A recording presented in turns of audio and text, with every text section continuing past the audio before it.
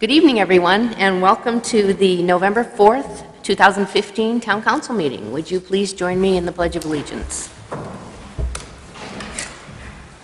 I pledge allegiance to the flag of the United States of America and to the republic for which it stands, one nation, under God, indivisible, with liberty and justice for all.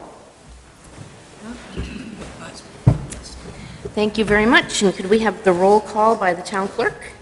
Chairman Ray, Here? Counselor Grennan, Here. Counselor Jordan. Here. Counselor MacAuslan. Here. Counselor Sullivan. Here. Counselor Wagner. Present. And Counselor Walsh. I'm going to say present, just to change it up. It's going to be a long night. Okay, then we will move on to um, town council reports and correspondence. Um, Is any, Molly? I just have a quick update. We have a notice on the town website, citizen engagement. The town seeking applicants for the 2016 appointments to standing boards and commissions. Um, We are accepting applications from residents inst- interested in serving on boards and commissions. We'll be interviewing in the next couple of weeks, and the deadline for submitting applications is Friday of this week. We hope to hear from a lot of people still. Thank you. Thank you, Molly. Anyone else? No? Caitlin, can I call on you? You can. Um, This being some of the councilors' last meetings, I have a few words for Mr. Jamie Wagner. I first met Jamie, actually, when he ran against me for my first um, year be- being elected, and though I won the seat, I was very pleased to have him run again and join me on the council. It has been a pleasure working with you over the last three years, and wish that you were not such a good dedicated father, local business owner, or asylum attorney, so that you'd have more time to stay on the council. Your presence will be greatly missed. Your insight in drafting and reviewing ordinances will be hard to replace. I am not sure that we would ever have made it through the firing range committee without your focus and attention to the task at hand through the many months of meetings that we had. Jamie, I, for one, am very sad to see you go, but am 100% understanding in your decision. This is a thankless time commitment, so let me be sure to say, so you at least heard it once, thank you for choosing to serve this great community, and leave knowing that you did make a difference. Thank you. And I just want to point out that I wrote this, typed it, my five years on the council, I have never prepared so much, just for you. And Jamie, we have a gift for you. Parting gifts, right? Um, so one of the- give that to you, and it's got your name in it. Okay. Oh, Nice job.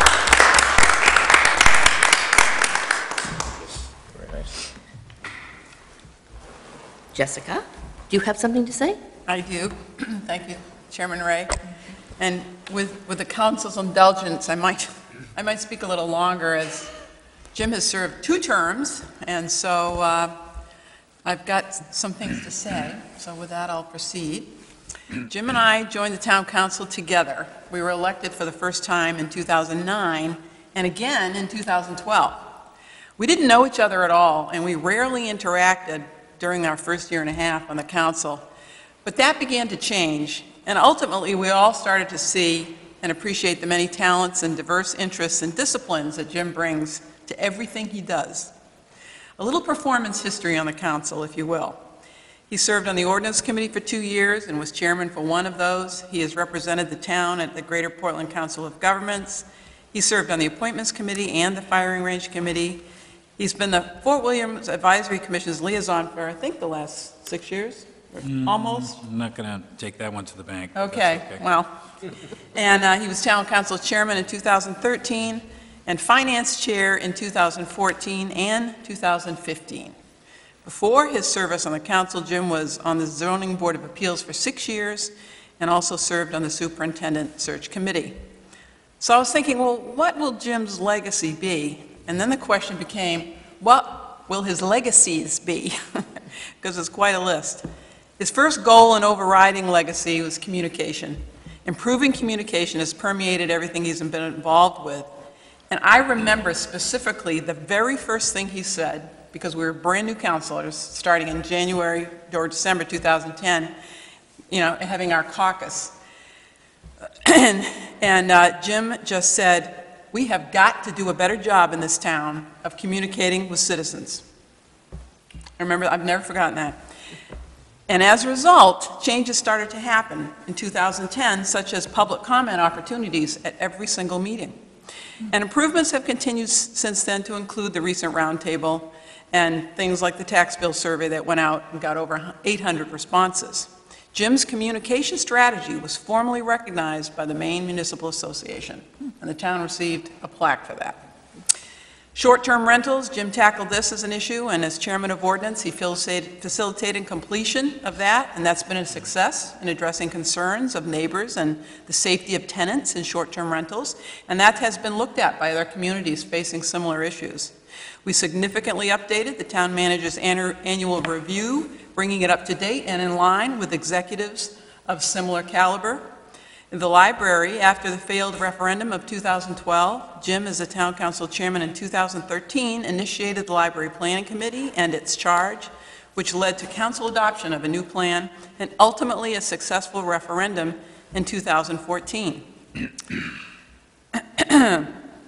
Jim's background as a teacher, school principal, and later businessman gave him insight into school budget structure. And as finance chair in 2014, I'm sure we all remember this, Jim worked extensively with the school board chairman and school board finance chairman at the time to streamline successful presentations to the town council. He was also instrumental in guiding the school board in the creation of its first ever, I think, and certainly in many years, capital improvement plan, which was fantastic. With Jim's guidance, we developed revenue streams at Fort Williams Park. We had uh, food vendors, and we were charging tour buses to help with those expenses. And as you know, Jim has asked us to continue exploring ways to ge- uh, generate revenues at Fort Williams Park, which is anything but free for Cape Elizabeth taxpayers. When Jim became town town council chairman in 2013, he took charge of an issue that had been smoldering, though largely ignored, by prior councils for years. 2013 saw an entire year of tremendous public engagement around the issue of neighbors and others complaining about the gun club. Jim kept that train moving forward, and the result was a first-ever shooting range ordinance for Cape Elizabeth that was improved in January 2014. Teacher and school, the teacher and school principal in Jim is always there, engaging, encouraging, mentoring, and exacting. He's incredibly involved and always on the pulse of the issues in town. There are many different styles of leadership. To me, as leaders, Jim's background as school teacher, principal, and businessman all meld here. And we all know what that's like, because he's always asking us, how can we make this better? How can we do this better? Let's take another look at this. and his passion for public service and serving Kate to the best of his ability was always present. He worked harder than anyone, was always prepared, and always pushed us to be the best we could be for Cape Elizabeth. Jim, you made us all better at what we do, and you taught us to keep setting that bar at a better place, and we've been incredibly fortunate to have a colleague of your caliber with us on the town council. Thank you.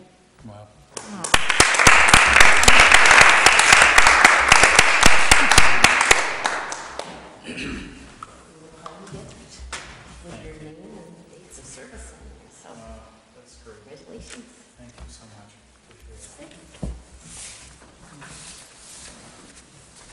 I probably neglected um, to ask uh, Jamie first if he wanted to say a few parting words. Sure.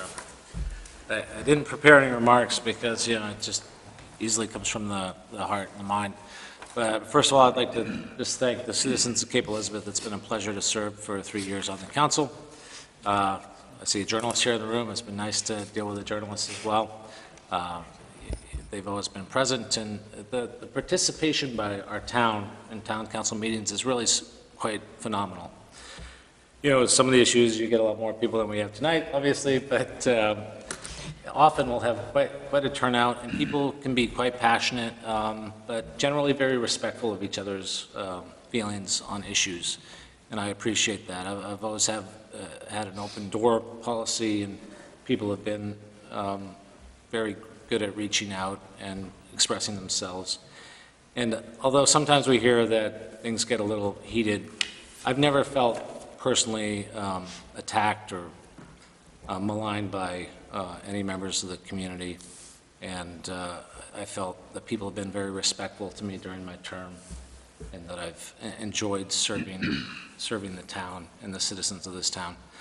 Um, uh, I thank Caitlin for her kind words, and she's been my, my closest friend and confidant on the council, and uh, we've had a good time together, and I've enjoyed serving with everyone. I can't believe how fast time goes. It seems like Frank Governali used to be sitting here, and Molly's been here two years already, you know, and like Patty, it seems like she just got here, and Dave was just here, you know, it's just amazing how fast it's going. I've really enjoyed uh, spending time with all of you, and uh, it's been a real pleasure.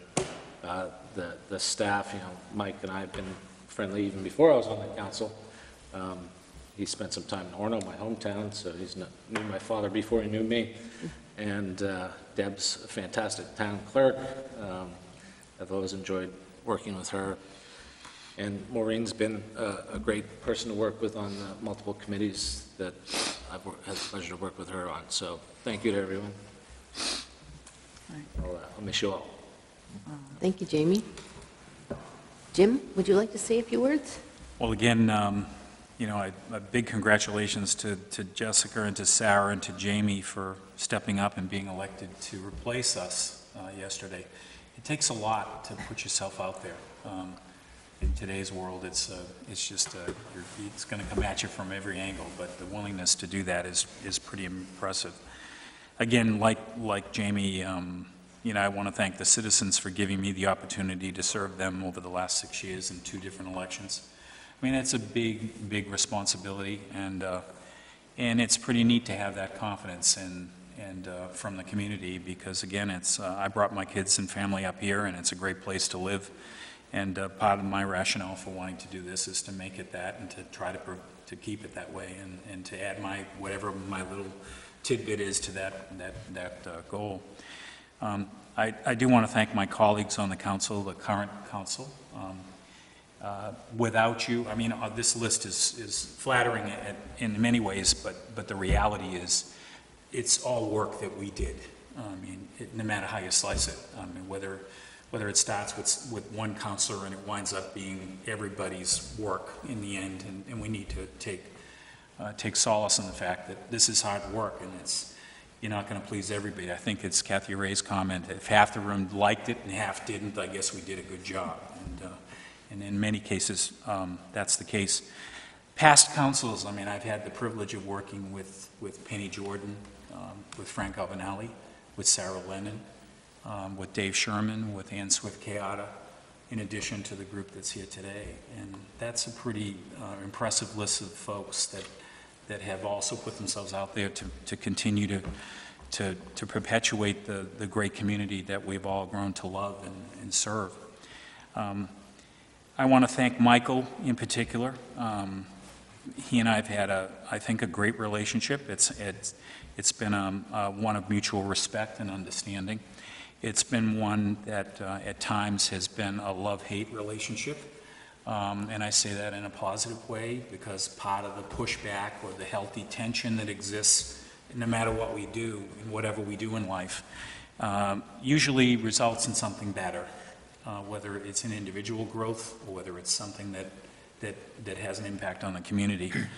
So Michael, um, your leadership, again, I really appreciate because I think that in some ways, I'm a better person after my 12, now 13 years of volunteering in this community, and you've been a, a significant part of that. Deb, you've been the Rock of Gibraltar, the support person. You're, um, um, you know, I guess if, if something happened, I think the lights would go off or the wiring would be not quite right, but you, you're just one of those people that I, that I look upon as, as being really helpful in making things happen here. The staff, the department heads, Peter, who's sitting in the audience today, um, for the support that they give to the good work that we create in some ways as counselors. They deliver it. They have to deliver it. Um, But we couldn't do it without them. Um, And I think that it's all part of a, a- you could argue a well-oiled machine at one level, but the fact of the matter is, I think everybody here is with the same read. They want to make this and continue to make Cape Elizabeth a great place to live. And I think the final point I want to make is I want to thank my wife Kathy, um, her unwavering support in allowing me to do this work, meetings at night, during the day, on weekends, in the morning, on the phone.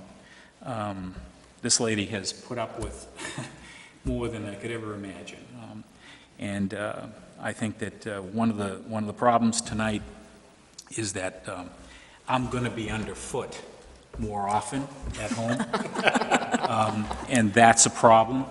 Uh, She either has to develop more hobbies or interests, or find some book club that she can join, or whatever, or I've got to do that. Um, But I can tell you that uh, the two of us are, um, you know, we've been married now 44 years, so um, I know we'll find a new chapter and a new effort, and we do have a grandchild now that we're going to spend more time with, so. But again, um, thank you for your kind words, uh, Jessica, and to the council that will continue after Jamie and I depart the room. Two JWs, by the way, which is kind of interesting. Um, You know, um, I have the greatest confidence that, uh, that you'll lead us in a place that, that, uh, to continue to make Cape Elizabeth a great spot. And um, it's been fun, it's been challenging, and I thought this was going to be a quiet year, but it really wasn't. It was actually noisier than it's been over the last five, but um, it's, um, it's all good work, and I thank you for putting the time and talent into it, because it's, uh, people have to do this, and I'm so glad that we had people step up, and I'm real excited about the next round. So, thank you. Thank you, Jim. And um, I would like to um, congratulate Jessica on her reelection to council for another three years, and also to Jamie Garvin and Sarah Lennon, who will be joining us in December. So, thank you both. Um, We will move on then to Finance Committee reports. Um, Jim? Well, you've got the, um, you've got your uh, dashboard in there today, and, um, you know, I mean, there are a couple of highlights. I think the, the biggest one that's pretty amazing is that the, the gift shop sales are up to over $50,000 over budget, and, you know, it's just hard to believe. I mean, uh, almost, what, 12% above the projection. And uh, it's, uh, it's been a yeoman's uh, summer with uh, traffic from the, the- the ships. And uh, that group works very hard, and uh, when you consider the size of that facility, to put that number of dollars through it, and then, of course, we had our audit meeting to talk about, we had a over and short of, what, 100 bucks or something. It's hard to believe in many ways, but uh real positive number there. Uh, Revenue sharing's up 42% as well. Um, Excise taxes continue to be up, new vehicles being purchased. If you look under the ex- expenditure category, um, again, you can see the, you know, the, the things there where there are differences that, uh, that are explainable. Public Works overtime, in that Tall Ships Anniversary Concert, which, which again is one of my issues relative to looking at revenue in the park. If we have more and more of those types of things and we have to pay for them, how do we pay for them? And it really shouldn't be the taxpayer. And uh, the rest of it, again, this, uh, we'll turn this over to the next finance chair and see how it gets improved. We have a new uh, business manager who may want to add some value and make some changes and improve it. But again, uh, I'd like to give credit for this to, the original idea to Jessica, uh, because she felt it would be nice to have a one-pager. Um, And I'd like to give credit to Michael, given all of the sort of ups and downs of last year, for making it happen. But um, I think this kind of a litmus test of what's taking place is, is better than you having to read 27 pages of what I call a, a pretty bad eye chart, so. So thank you. Thank you, Jim. Has questions for Jim? Okay, then we will move on to citizen opportunity for discussion of items not on the agenda. I don't see anybody, so uh, we'll move on beyond that to the town manager's monthly report. Yes, um, thank you, Chairman Ray. Uh, a couple of things. Uh, First of all, I want to note that we're now a couple of days past Cape Elizabeth's 250th anniversary. Uh, You know, I I- I just know there was an event uh, on November 1st, I know the chairman spoke at it, not too sure who else was all there, but I really want to thank the committee who organized all of the different activities. Barbara Powers just was an excellent leader of the effort. Uh, The Cape Elizabeth Historical Preservation Society uh, just did a tremendous job with tours and other activities. Obviously, the Fort Williams Charitable Foundation uh, with the concert that, uh, that Jim mentioned. Uh, you know, It was, it was just nice to see so many different activities that involved the community in, in different groups of the community that might not always come together. And, uh, you know, it's, it it was just wonderful to, to see that all of it was citizen-driven as to what occurred. Uh, And, uh, you know, I think that those that- that participated in it enjoyed it. And I, you know, I look, you know, every, every committee and every project seems to have a legacy of some type. And, you know, there, there are many important things. But, you know, just the banners out here in the, the center of of the town. You know, now we've established the, the beginning of having banners, and we- we'll have additional banners, you know, advertising different things. You know, that'll be one, just one minor thing, but, but yet, that, you know, changes the appearance and the feel of the community uh, when you begin to do, to do something like that. So I want, I just want to acknowledge the 250th anniversary, and again, uh, thank that committee for its work. Uh, Second, I I do want to mention, uh, we had an election yesterday. Uh, I want to thank Deborah and all of the election staff for their leadership in uh, conducting an election that, uh, you know, from every account went very smoothly. And, uh, you know, it's, it's not always easy to find people to work elections these days. And If anyone knows of anyone, they should, uh, or if anyone's watching, uh, and they know someone might be willing to work elections, they should, they should talk to Deborah, because uh, particularly as we look forward to an election a year from now, I guess it's November 8th, that we heard today, uh, you know, we're going to need, be needing uh, more folks to, to work with Deborah uh, to, to carry that election. Uh, Finally, I do want to make mention, uh, it's the the last meeting of this council year.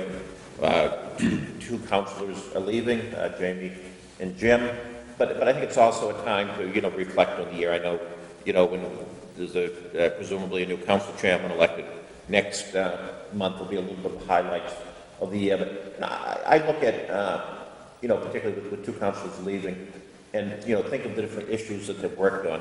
You know, sh- short-term rentals, roosters, uh, the, the firing range committee, whether or not we have five-story buildings, special event facilities, uh, communication strategies, uh, you know, the, the aftermath of the accident a year ago, uh, at the, at the transfer station, trying to deal with, deal with that. And, you know, this is the council that approved in the library, uh, uh, which will be soon opening. And, you know, and, and I think, you know, when, when anyone serves on a council, you know, there- there's, there's the softer things that you contribute. You know, your, your, you know, the, the changing of dir- sort of direction, the things like improving communication, that. And then there's the tangible things that, that you can actually see, uh, you know, su- such as the library. And I, you know, I think everyone can feel good, uh, about their participation in those activities and what they accomplished. And- And, you know, this council, you know, it's alluded to, it doesn't always, you don't always agree with each other. Uh, Sometimes you go home and you probably lose a little sleep over a few things that happen. Uh, And, you know, I don't know if it's a healthy tension, sometimes it isn't healthy. Uh, But, but at the same time, it- you know, that's democracy, and it's, it's good that the, the discussions are held, they're held out in the open. And, uh, you know, the, you know, I, I've never gone home from a meeting in the last few years that I haven't felt that every single member of the council voted the way they did on a particular issue, other than thinking that it was the best thing for the community. You know, it didn't matter what side they were on, for or against. I think everyone went home thinking that they had voted the best way for the community on, on whatever the, the, the issue might be. And I think, I think it's, it's, it's, you know, good that we live in a community like that. You know, want to especially wish Jamie and uh, Jim well. As Jamie alluded to, you know, I don't know how old Jamie is, but I'm, I'm guessing when I first met him, he might have been in a carriage. Uh, I, I, had- I had actually campaigned, now, your mother ran for office too, she ran for something? She, she uh, was on the county committee Democrats. Yeah, she, she was, a- I don't usually admit to being a Democrat publicly, managed as a nonpartisan, but I was very active with, with both, with uh, Jim and Jackie, Jamie's parents on, in Democratic activities when I was a student at, at the, the University of Maine back in the, the late, mid to late 70s. You know, got, got to know the Wagners, and, uh, you know, uh, it's been nice with Jamie and the council, saw his father a few times when uh, he visited. Uh, you know, The other thing about Jamie is, you know, he- he's been a counselor, but it's really been good to have a perspective of a town center business owner as well. Uh, You know, the, the town deals with a lot of town center issues, and, you know, someone that, that runs a, that that owns a, you know, the, the local buzz, you know, a place where people gather and there's a lot of interaction, and knows, knows what it's like to deal with the different regulations and issues. And, you know, the, the ideas that come and go with a place like the town center, and as well as having an office, you know, in, an- in, a- in another building, uh, you know, that, that's been really helpful, been really helpful, you know, a great contribution. Jim, been around a little longer. I actually I haven't known Jim as long as, uh, known the Wagners, um, but at, at at the same time, uh, you know, I, I- you know, everyone else, I'm not gonna repeat all the other things said about Jim, but you know, one thing that, that wasn't mentioned that I didn't think is worthy of, the, the place where the council is sitting, these tables would not have happened if it wasn't for Jim. And, you know, there, there used to be this big hulking, you know, every, sending every wrong message out as to the council being above everyone and, you know, behind this big barrier. And Jim said, no, it needs to have a different feel, it needs to have a different approach. And it, it was because of him that these tables here. We, we get rid of that monstrosity that was here before. I called it the bullpen, and that had nothing to do with what was said. Uh, it just reminded me of, a you know, a, a big enclosed structure. And, you know, that, that, I think, you know, that was, you know, Jim can, you know, te- you know, Jessica pointed out, you know, getting the new library started, big things. But sometimes it's those little things that, that, that really make a difference, I was fighting to get the septic system from my mother's house in Falmouth, Massachusetts. And I sat there and I took a couple of pictures and I sent them to you. I said, this is the way our chamber should look. Yep. You're on the same level as the people who are talking to you. And that's what, that's kind of, Yeah, and I, I, don't- I find this a lot more comfortable, and it, you know, it wouldn't have happened without your leadership. Well, Uh, thank you. And I could mention so many other things, but, you know. That's I- fine, thank you. You know, I've got to be, I always got to be careful what I say for councilors, because we see with Sarah's, they might come back and run for office sometimes. You know, I'm supposed to be, you know, non-political, non-whatever, so, you know, I, I- I've got to be careful what I say, but it's, it's great working with all of you. I wish both council as well, and, you know, you all, you're, you're all here without pay, and, you know, thank you for, for all you do. thank you. Thank Thank you, you. thank you, Mike. Um, We will move on then to the draft minutes of the October 14th meeting, which is in your packet. Is there a motion to accept? Molly, So moved? thank you. Is there a second? I'll second. Jim, any uh, changes, errors, omissions? Okay. All in favor? All right. Um, Then we will go on to the public hearing. Um, So we have a public hearing right now for the special events ordinance provisions and related zoning overlay map. Um, There's two people in the audience. Were either one of you going to speak about this? No, didn't think so. So um, we, let's see, I'll open the public hearing, and I'll close the public hearing. That was hard. Um, So then we will move on then to item 126, which which is consideration of the special events ordinance provisions and related zoning overlay map. Um, And I guess then we would be looking for a motion to accept this? Yeah, um, if, if you have any interest in me introducing the, Absolutely, that would be great.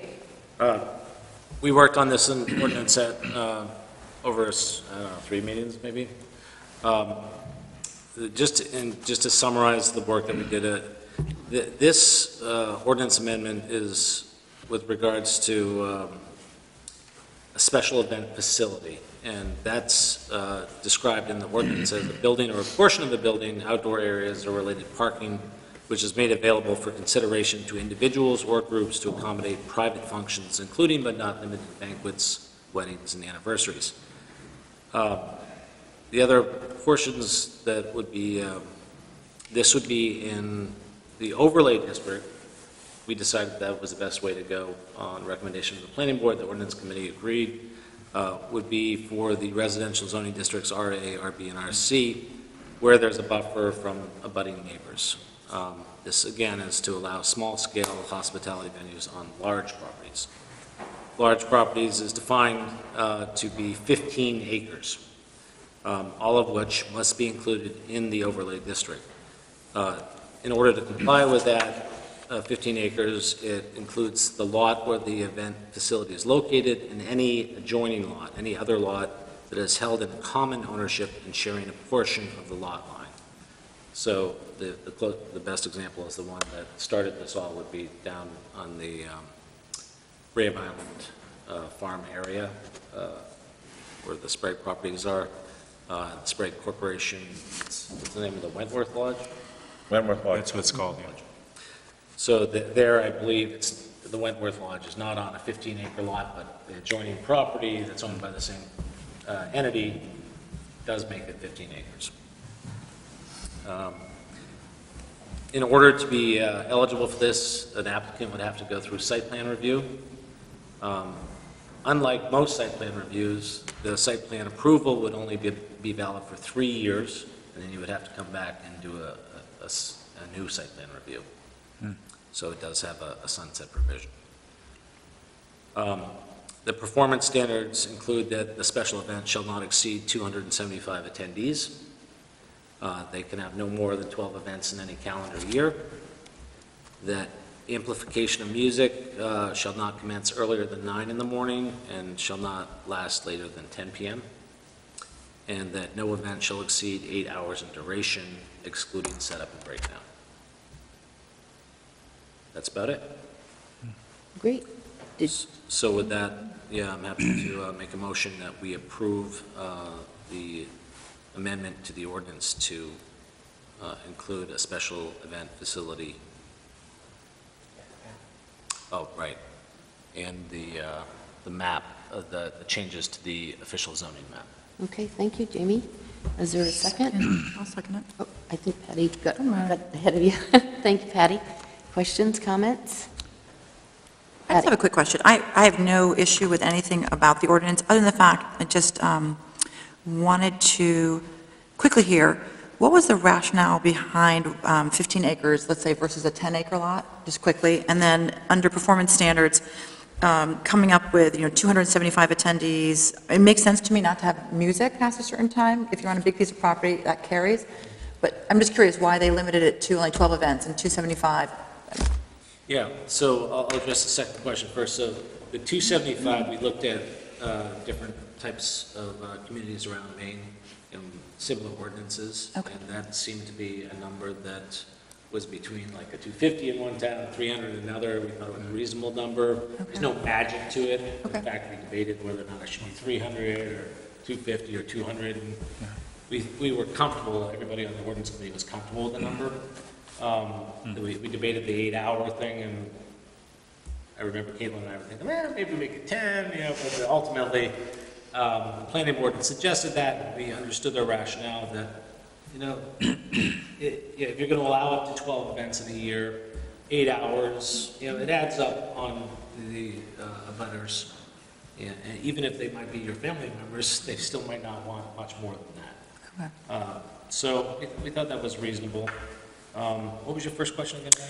Uh, The other one was just why 15 acres, let's say, Oh, yeah. versus 10, you know? Um, I, I think the goal was not to really encourage people to have special event facilities in town, but to accommodate a request, but to make it fair to, to other potential large landowners to, to have this opportunity, but not to necessarily say, hey, we want more special events, uh, facilities in town. Okay. So we thought to have a higher acreage would uh, limit it- the impact on butters. Other, que- Jim? Kathy, I mean, we didn't have any comment this evening, and I know that Jamie's a- a- been a big proponent of, in, in, you know, talking, talking to the, those that are most impacted by this. Was there a lot of input from people who might be impacted by this particular ordinance in- in the three meetings? Absolutely. We, we solicited a lot of input from the Sprague Corporation in particular, since it was uh, they that started the process on this. And uh, we worked with them on that, because uh, the initial draft, they weren't that happy with, but we, we had, you know, the public was welcome to come and join us, and we had some comment from the public beyond the Sprague Corp. Um, But uh, we certainly solicited input and took that into account and changed the ordinance to uh, accommodate the request of the public. Good. Well, That's good. I, I think it's great to have that on television tonight, because if there was nobody here for this public hearing, to, to at least reiterate that, it's a good thing, so. Other questions? No more comments? No? All right, then, all in favor? Great. Then, moving on to item 127, the rescue coverage update from the fire chief. I think I was going to turn to Mike first. Yes, uh, thank you, Chairman Ray. The- The fire chief, Peter Gleason, is here as well. Uh, The council had a workshop uh, a week or two ago, uh, at which the fire chief presented uh, issues and concerns with uh, having paramedic, paramedic coverage uh, 24/7. Uh, be- Because of changing community demographics, changing training requirements, uh, longer visits in hospitals, uh, people's own personal circumstances, uh, you know, we've had a dramatic reduction in the availability of volunteers of late uh, to to respond to rescue calls. So, uh, you know, Peter uh, showed some real leadership and came forward with with a proposal uh, at the beginning of the calendar year to increase the service of having a paramedic on duty 16 hours a day, seven days a week. But, you know, as that's been implemented, it's been very helpful, but it, it still doesn't completely meet the need of the community as it now stands. So uh, the chief has recommended uh, that we uh, go to uh, 24/7 coverage. Uh, There is some cost to that, uh, about $25,000 for the remainder of this fiscal year, an annualized cost about $48,000. Uh, We also, if we're going to be having people stay at the fire station overnight, uh, we're required to have some uh, air exchange uh, in the rooms where, where people would be quartered overnight. And so also recommending uh, $25,000 uh, to improve the quarters for the overnight personnel.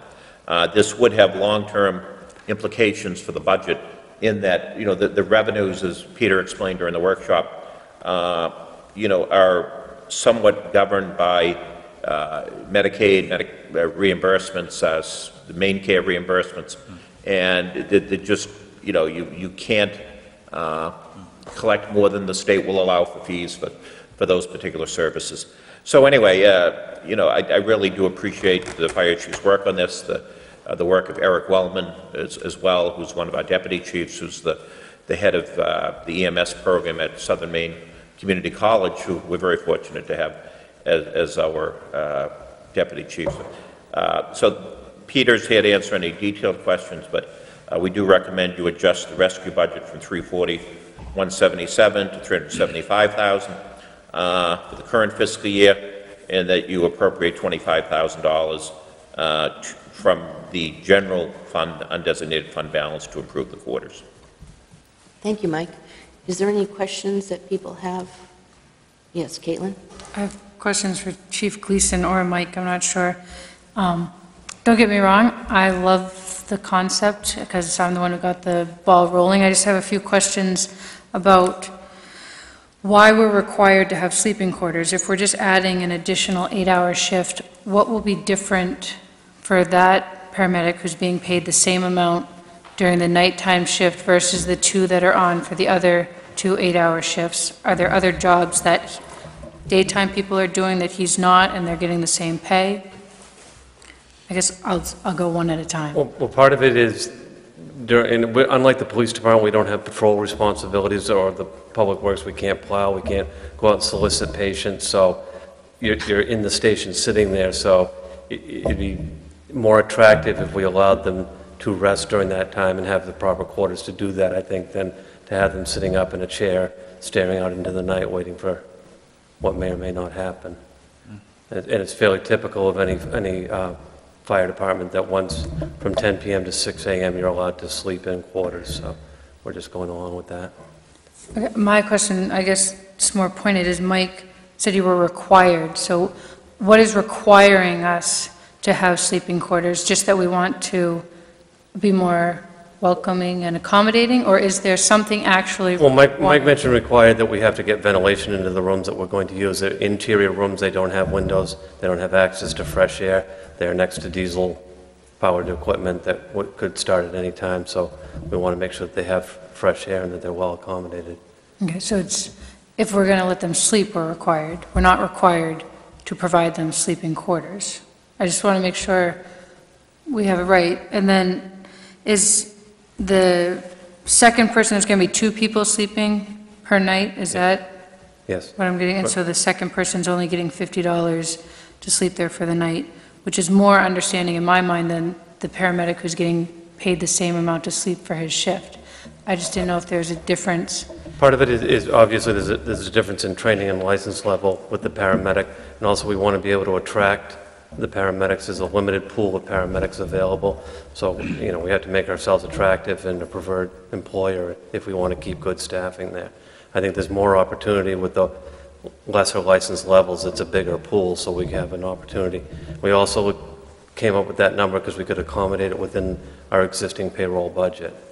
Uh, We may have to look at that coming, for- going forward if that's the proper way, but this is how we could accommodate the changes within the funds that we have requested.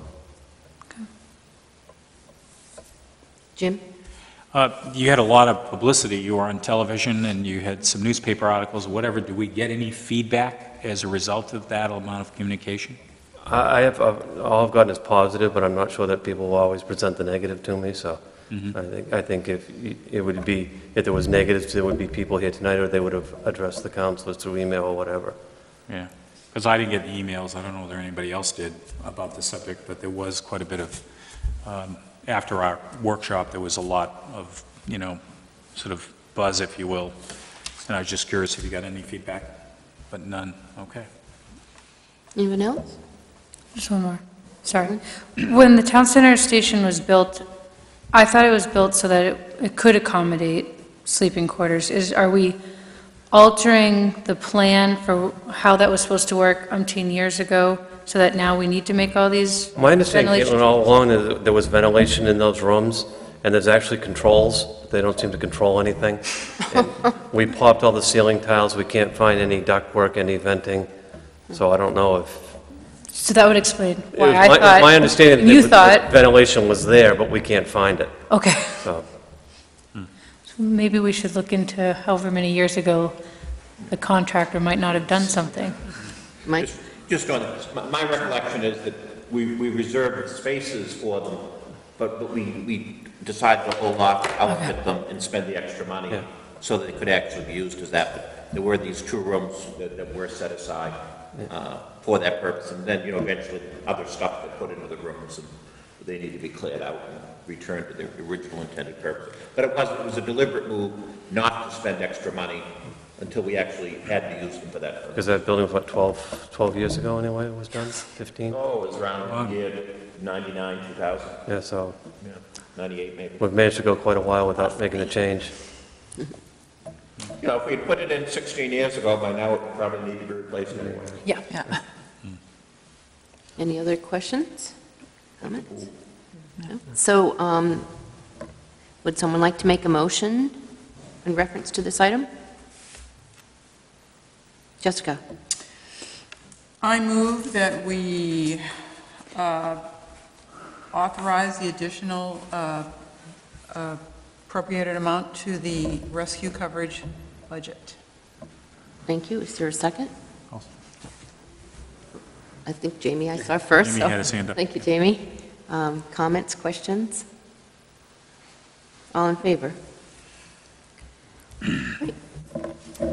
Then we'll move on to item 128, pickleball. Mike? Yes, pickleball reminds me a little bit of the rooster issue. You know, it- it- at, at, at the very beginning, you know, you wonder why we're dealing with pickleball issues. Then you find out is that people, in something we have got a lot of emails on, particularly the Portland Advisory Commission, people feel very strongly about tennis courts, uh, and wanting to have courts for tennis court, for tennis, and there's, there's other individuals who, who really enjoy playing this, what I think is a newer activity called pickleball, and they both need flat surfaces. So what's happened is, there was an attempt to accommodate them at the beginning of the year, and it, it, it, uh, particularly the tennis players have been very upset. And so the Fort Williams Advisory Commission tried to deal with the issue, and then said, you know, they don't want to deal with it alone, it's a bigger issue, and it also involves the tennis courts at the high school.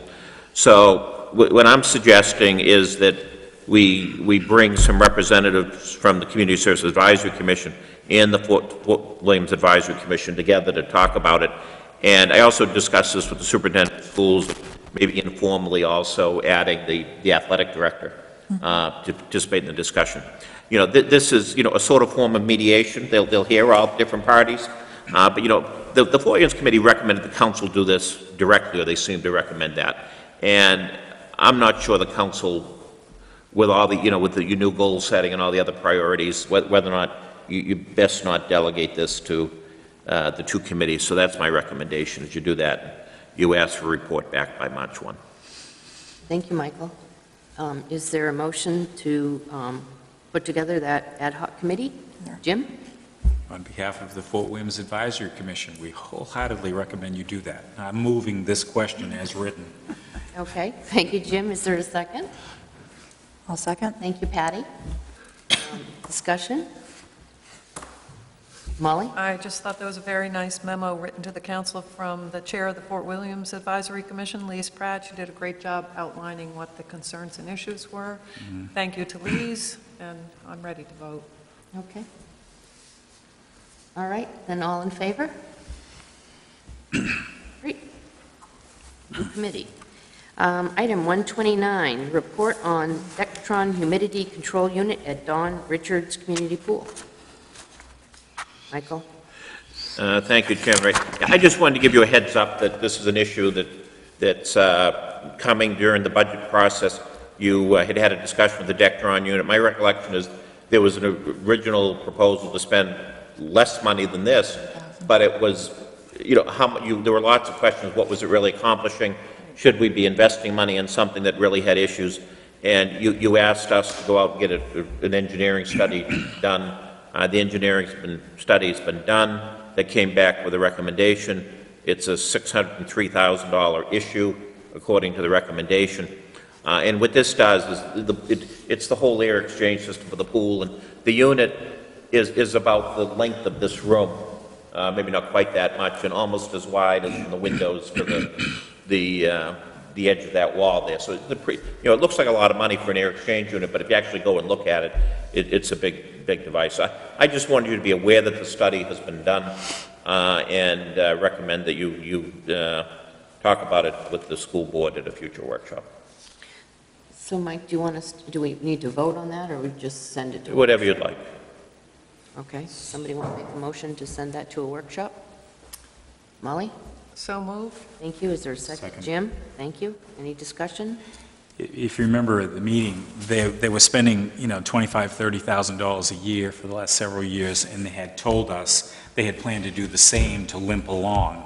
And I think we said at one point, do you just bite the bullet and deal with the question and fix it? Um, And I read the report, It- you know, your eyes will glass over as you read it. Um, It's, it's not, not exciting stuff, but I, I do think taking it up uh, as a joint effort with the school board is a good idea. Thank you, Jim. Anybody else comment? No? All in favor? Right. Then we'll move on to item 130, which is the report of the Solid Waste and Recycling Long-Term Planning Committee.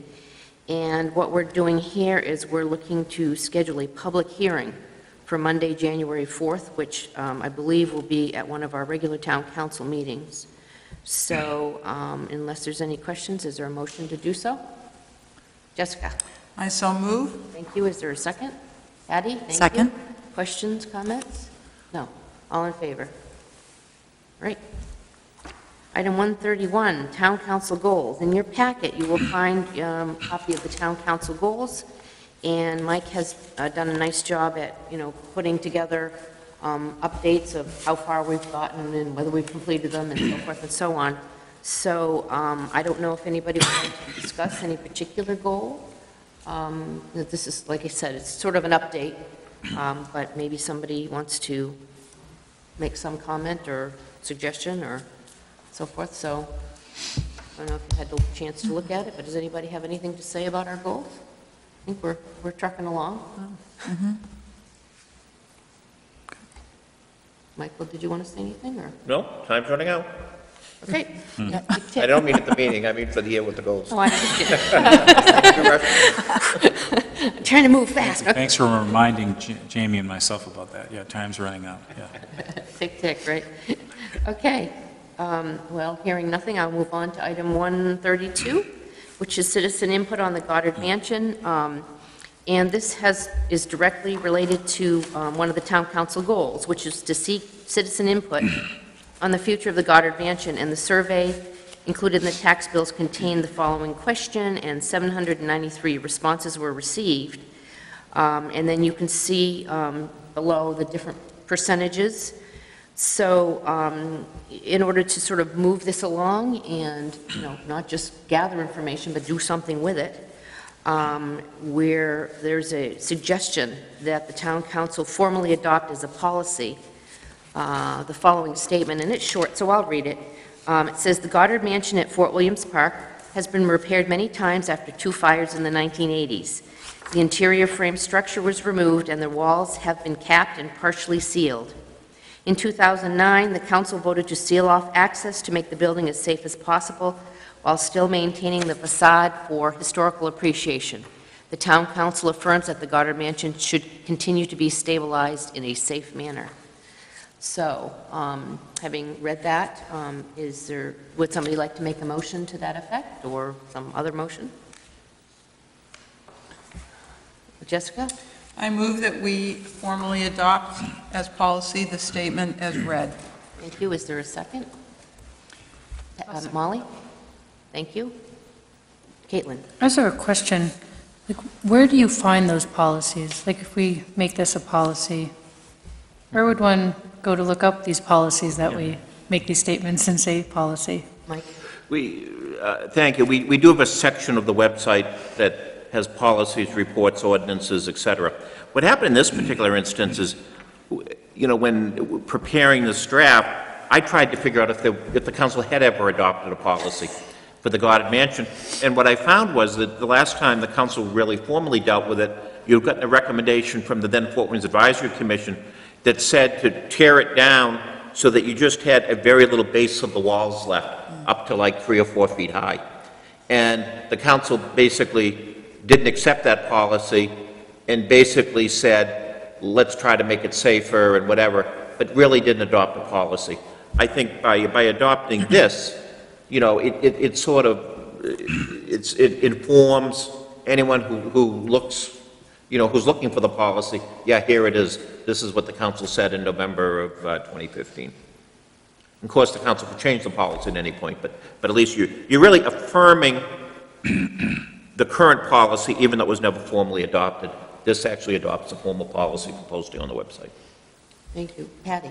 Um, Okay, so I'm glad that we are adopting a policy about this and that the, the community agreed and citizens that we should stabilize it. I think it's a, um, an incredible piece at Fort Williams. My question for you is, if you're looking at stabilizing, is it every couple of years that you have to put money in it to stabilize it? Is that a year-to-year cost? What, what are those numbers, or you have a basic idea? Michael? You know, it's, you know, some years you spend nothing, some years you, you have to spend more money. You know, it's something we monitor every year, but basically, I would say on average, and this is on average, mm-hmm. it probably would equal about five thousand dollars a year. But, you know, one year you might spend fifteen and you might spend zero for the next two. Okay. Jim? I I just, again, this is, this is something different, okay, in my experience. Mm-hmm. But having lived with the, the, the Fort Williams Advisory Commission this last year, this would clarify and eliminate some of the debate, dialogue, conjecture. I think, I heard, somebody told me. Uh, This is very clear. And I got to tell you, that has been one of our pieces lacking this year because we've talked about this mansion, you know, making it into bathrooms, making it into a gift shop, making it into a welcome center, making it into a, a restaurant. I mean, it's just been unbelievable. And what you have here is clarity um, that will go a long way to giving direction. And I'm, I'm, I'm all for direction. There's no need to waste time on something like this if we have a clarity in our purpose. So I'm, I'm there. Molly? I agree with you, Jim, and I also agree with you, Patty. That is a wonderful sort of half building that's left there. It was, I think, important architecturally and probably um, structurally until the 1980s when we started having fires in there. Um, If we had seen input from citizens that they wanted to see something in particular done with it, I would have supported that wholeheartedly. I'd still like to see something done with it in the future, but I agree with you, I think it's really important for the Fort Williams Advisory Commission, for the town as a whole, to know that we have a policy in place, we have clarity, we understand what the expectations are, and more than half of the people who responded to the survey told us what they wanted. Yeah. Michael, what happened to that grassroots group that sort of, a couple of years back? There was a grassroots? I, it- it's funny, funny you should mention it. It, what, what uh, Council Walsh was referring to was, there was, there was a group that talked about raising big, big dollars to do something, and uh, it, it sort of fizzled out. I did speak within the last week to one of the, the folks who uh, was very much behind that, one of the neighbors uh, who's, who's a volunteer in the gift shop. And uh, we talked about this, I mentioned this was coming up on the, the agenda and what the specific recommendation was, and uh, the citizen was very happy with, with the recommendation as, as it stands. Interesting. Jamie?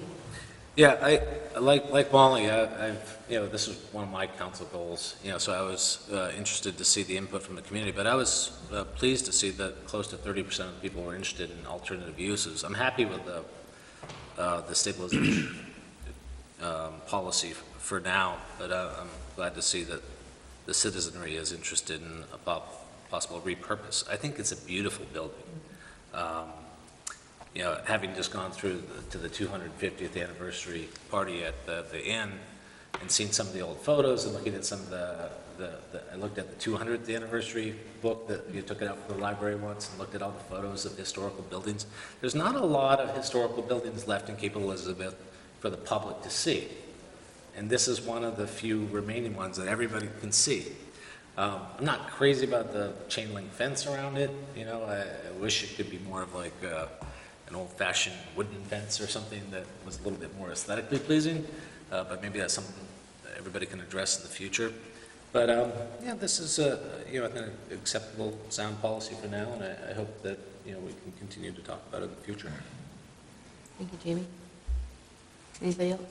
Um, I- I'm going to weigh in. Um, it- It's on a little bit of a different um, piece. I, I think it's very interesting that um, almost 800 people responded because um, sometimes we get input from very small groups, um, and they are, you know, are very passionate about something. But this is a statistically significant number for this town. And so I, I think it's very important that, you know, sometimes we hear from folks that we um, are not reaching out to the public and we're not asking the public. And this is a perfect example that we did. We asked them. And this, you know, for now, this is, you know, more than 50% said, we want you to stabilize it. So it allows us to, as you said, there's clarity around it, it allows us to have a policy in place for now, and if something changes in the, in the future, then we can, but I agree with Jim, is that, you know, um, I, I think this helps to um, address some of the um, speculation and the I heard, she said, you know, I think, and, and that kind of thing, and maybe set that aside for now, so we can move on to some other items. And it's not that we can't go back to it, we can, anytime we want, but um, we asked, you know, the citizenry, and they said, this is what we think. And so we're saying, okay, we'll have a policy, and we'll, uh, you know, we'll move on, so, um, anyway. All right, anybody else? It- it- it- Jamie's point about the fence is an interesting one, because for the, for the Fort Williams Advisory Commission to look at that fence and maybe want to upgrade it, like we're doing with the Barber Walkway and things like that, we've made some major investments there. We just made some investments in stair, in in having railings on stairwells that were dangerous. I mean, they're constantly looking at those little value-added spots. It's an interesting point that I'd, I'd like to take back to them, because, you know, that, maybe that's a place to invest, you know, and, and really upgrade it, and maybe do something with some signage and some education, you know? Mm-hmm. But all good stuff, and I'm, I'm with Kathy too, because that's what was happening with them, as they were listening to small pockets of feedback, and it wasn't necessarily representative of the larger group, and that's why this gave, us- gave, us a little more direction, so. Anybody else? We ready to vote? All in favor? Okay. Um, Item 133, again, same, same idea. Um, This was the citizen input on the old Thomas Memorial Library slash Spurwink School. Um, And um, there were 807 people that responded to this, and um, they broke it down as, as you can see below. So the recommendation is that the town council hereby request the town manager to inquire to all municipal departments and to the school department on potential public uses on the Spurwink School and to report back to the council at the December council meeting. And you can see that um, 51.5% of the 807 people wanted the building repurposed for public, public use. So um, is there a motion on this item? Jim? So moved. Thank you. Is there a second? Patty? I'll second Thank that. you. Uh, Discussion. Molly? Again, I'll just say, I really like that building a lot. I'm glad that we're considering reuse for a public purpose, and I'm glad to hear that over half of the respondents in the survey agreed and thought that was the right thing to do as well. Anyone else? We ready to vote? Oh, Jim, I'm sorry. So, uh, and this, I guess, is to Michael. Um, So, given this sort of approach, which is kind of casting the net to see what, what comes up, if you have a department that moves from, we'll say, here over to there, then you've got space here that needs to be evaluated and repurposed, or whatever. So it does kind of have a little bit of a um, domino effect, if you will, that's going to have to be um, looked at as a town council. Just, just kind of heads up, because we looked at physical plant a couple years back when Frank Governali was on the council, and, and that was, that's just a caution on my part to say, you know, isn't quite, okay, we'll move, we'll move you over there. Um, And then all of a sudden, now we've got the second floor of this place empty. I mean, just, just thinking out loud. So- Thank you, Jim. Molly? I had the same thought, and in fact, I, I think it was you who did some work, maybe it was Jessica, but I think it was you who did some work for the Library Planning Committee on assessing all of our existing public spaces. and Facility use, Yep. facility use report. And we had some spreadsheet, I think, that was done Yes. that outlined all of the spaces that were available. So I think it's a pretty quick and easy task to look at where those dominoes might fall and, Sure. what else we could plug in. Yeah, We did that as part of the library building committee. Good. So, Just, Michael? just, just on this, you know, in December, you know, I, I've already asked, you know, knowing that this goal was here, uh, and knowing that what the citizens had said, I, I'm gonna sort of commence the process of inquiry. uh, you know, possible uses. And, you know, and I've gotten back, you know, the, the superintendent also is, has sent out an email to, I don't know, the whole school staff, or, you know, she's doing a survey anyway, maybe it's, I'm not sure who, of, you know, different, different suggested possibilities that the school department might use it for. You know, I've heard everything from pre-K to the superintendent's office to the technology department. I've heard the historical society, I've heard a senior citizen center, and, you know, what, what I'm just gonna do is gather up those comments and give them back to the, the, the new sitting council. And then, you know, I would think is, you know, maybe they might want to form a little group or some, you know, who knows? We'll see what the council wants to do with it, but you'll have that chance in December, those of you who are, still excuse me, those of you who are still here to uh, take all those comments and see what the ideas are, and then figure out uh, what's best. You know, I would just hope that the building isn't empty for too, too long, because buildings that are empty for too long, it's, it's never healthy. And, uh, you know, you know, maybe space will free up somewhere, and if, if that's the case, you know, we need to think that through as well. Great, thank you. Jamie? Yeah, my only uh, addition to that is that, you know, after you do your survey, if there's uh, not sufficient need for additional public use, that you consider renting to the private sector. We ready to vote? All in favor? Great. Okay, and uh, item 134, Town Center intersection. Same scenario. Um, Let's see, this was 799 responses, um, and 48.2% said the intersection is not a problem, do not spend money on it. Um, So there is a recommendation um, for, a- I guess, a policy here that says, "The town council notes that the 2015 tax bill survey indicates that a majority of citizens do not believe the town center intersection at Route 77 Scott Dyer Road and Shore Road is in need of attention that would warrant spending any money on it. Therefore, the council will take no action to study options to improve the intersection, but will continue to review, at no municipal cost, changes impacting traffic at the intersection and pedestrian issues in conjunction with reviewing pedestrian safety opportunities throughout the town center area. So is there a motion to accept that? So moved? Patty, thank you. Is there a second? Molly? I'll second that. Okay. Discussion, comments? Molly? I have two comments or questions for Mike. One is, I know on the goals, we had talked about contacting MDOT about reducing the speed limit through the center of town. I know they haven't responded yet.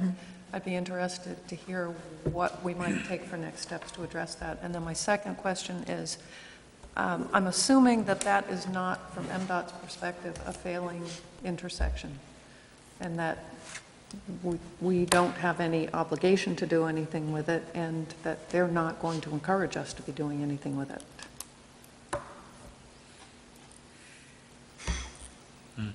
Yes? No?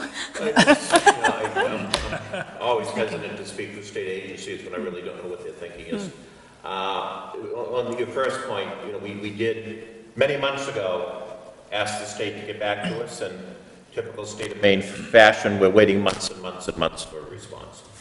Uh, That's number one. Can we get back to them and give Uh, them another I'll- nudge? You know, the contact, yeah, we'll get, we'll get back. Thank you. Uh, The, uh, the, the second thing is, you know, is the intersection failing? And, it- and I'm a little bit hesitant to answer that question. We, we, we have, we're probably going to have two development proposals come in in the next few months. My understanding is, is that the, the new dentist in Dr. Dickinson's office have bought the old Cumberland Farms. And, you know, they're starting to, uh, That's interesting. you know, to talk about possibly tearing down that building Mm-hmm. and, you know, building a, a- some sort of a new facility. Secondly, uh, Dr. Zeb My- Meyerowitz, Meyerowitz, yes. uh, o- has bought some of the hill property that's in back of the top box tri- triangle, uh, rhododendron. And, you know, and is, he- and he's planning to, uh, he and his wife are planning to do some sort of development on the property that, that they've either, I think they've purchased, I don't think it's an option, I think they purchased. So, you know, both are gonna be applying to the planning board, and my guess is, is that the planning board will be looking at traffic studies. And, you know, we have not had a traffic study done we will not have had a traffic study done since Cumberland Farms opened, since the Key Bank closed, and s- since the new library was, was repurposed. Right. Uh, You know, all of those things might show a level of service that is less than adequate. You know, back when the c- council rejected the monies for the other intersection improvement, there were limited times of the day where the, where the limited, where the level of service was well below the threshold of what you would want. Uh, You know, the council decided not to address it at that time. So as a result, other development proposals that have come in have not been held to the standard because the town indicated it was not to do it. You know, this could be an issue that the council and the planning board and the community may need to be dealing with, but at the same time, the, the short term is, there's the majority of the citizens, 48.2% of them, are not a, a- a plurality, but a majority. Did I get that one right? The other way around. Yeah, majority, not a plurality. Uh, I knew the, the the former uh, politician here would, would know that. Uh, uh, You know, ba- basically said, don't spend money on it.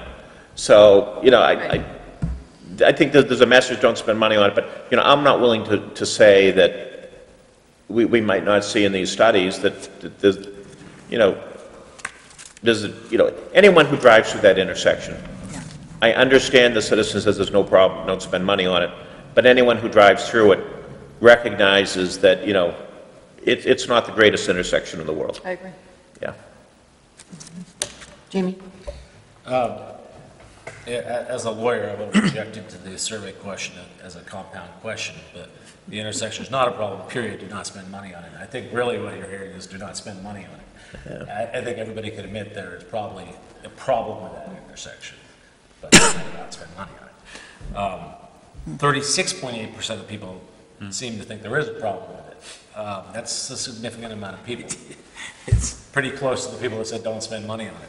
So, I mean, obviously, this is an intersection that comes up every couple of years as a problem, and I think we'll have to address it. I agree with Michael that when Zev and Amber do their work uh, on the Hill property, and I think they've already got their plans together, um, that that's a good time to address some of these questions, um, because I think they're going to be building a multi-level building there.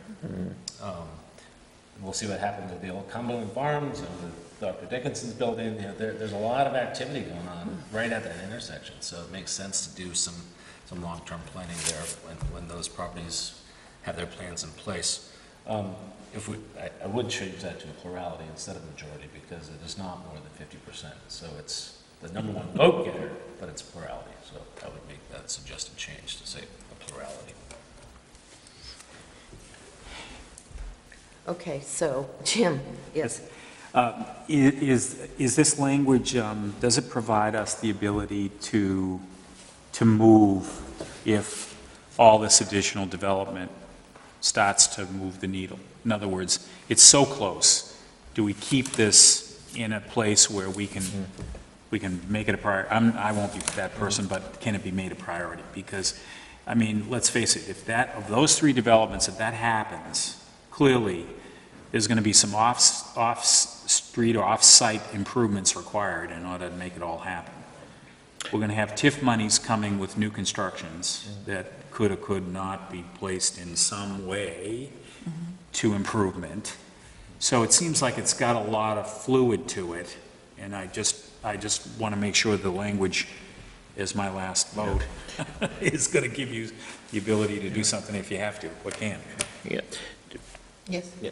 Th- This was, this, other than the plurality, hmm. majority, th- this was fairly carefully drafted. Let, let me, let me parse it, since you raised the question. There- and, You know, therefore, the council will take no action to study options to improve the intersection, but will continue to review, in parents, at no municipal cost, changes impacting traffic. So, you know, if there's changes at the intersection, the new buildings we just mentioned, those, the council will continue to review those. You'll look at those traffic studies. Uh, You know, they'll be paid for by someone else conceivably, but you, you will look at them at the intersection. The at municipal cost refers to the changes, at no municipal cost, refer to changes impacting traffic at the intersection. The and pedestrian issues in conjunction with reviewing pedestrian safety opportunities throughout the town center is not conditioned at no municipal cost, because that's presuming after looking at the citizen roundtable points, Right. where a lot of people raised issues about pedestrian movements and safety, that the town may at some point want to look at some pedestrian safety opportunities, not only at that intersection, but throughout the town center, and that might involve some municipal costs. So if you parse this thing out totally, Okay. that would be the full interpretation of what's intended here. Hey, Caitlin? Is this supposed to be read as a policy, like the Goddard Mansion was a policy, or a motion, like the last one, we gave steps going forward? Because if it's a policy, then couldn't we simply insert at this time? Or, I mean, that makes it so that there's a whole lot of changes that could happen that make it so all this can be readdressed, because it's not, we're just doing this at this time. It seems to me that it says that already, but, uh, you know, If- others might have a, Right. because it, it doesn't say at this time, but it implies that right now, we're going to take no action in reference to studying, study options. But if there are changes impacting traffic, then we do something else.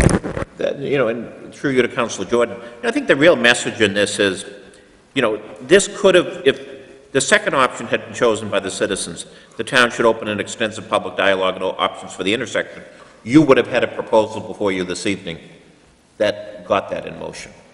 You know, instead, you know, the recommendation is you follow what the 48.2% said. Uh, Does that help? Sure. Okay. Doesn't mean you have to agree.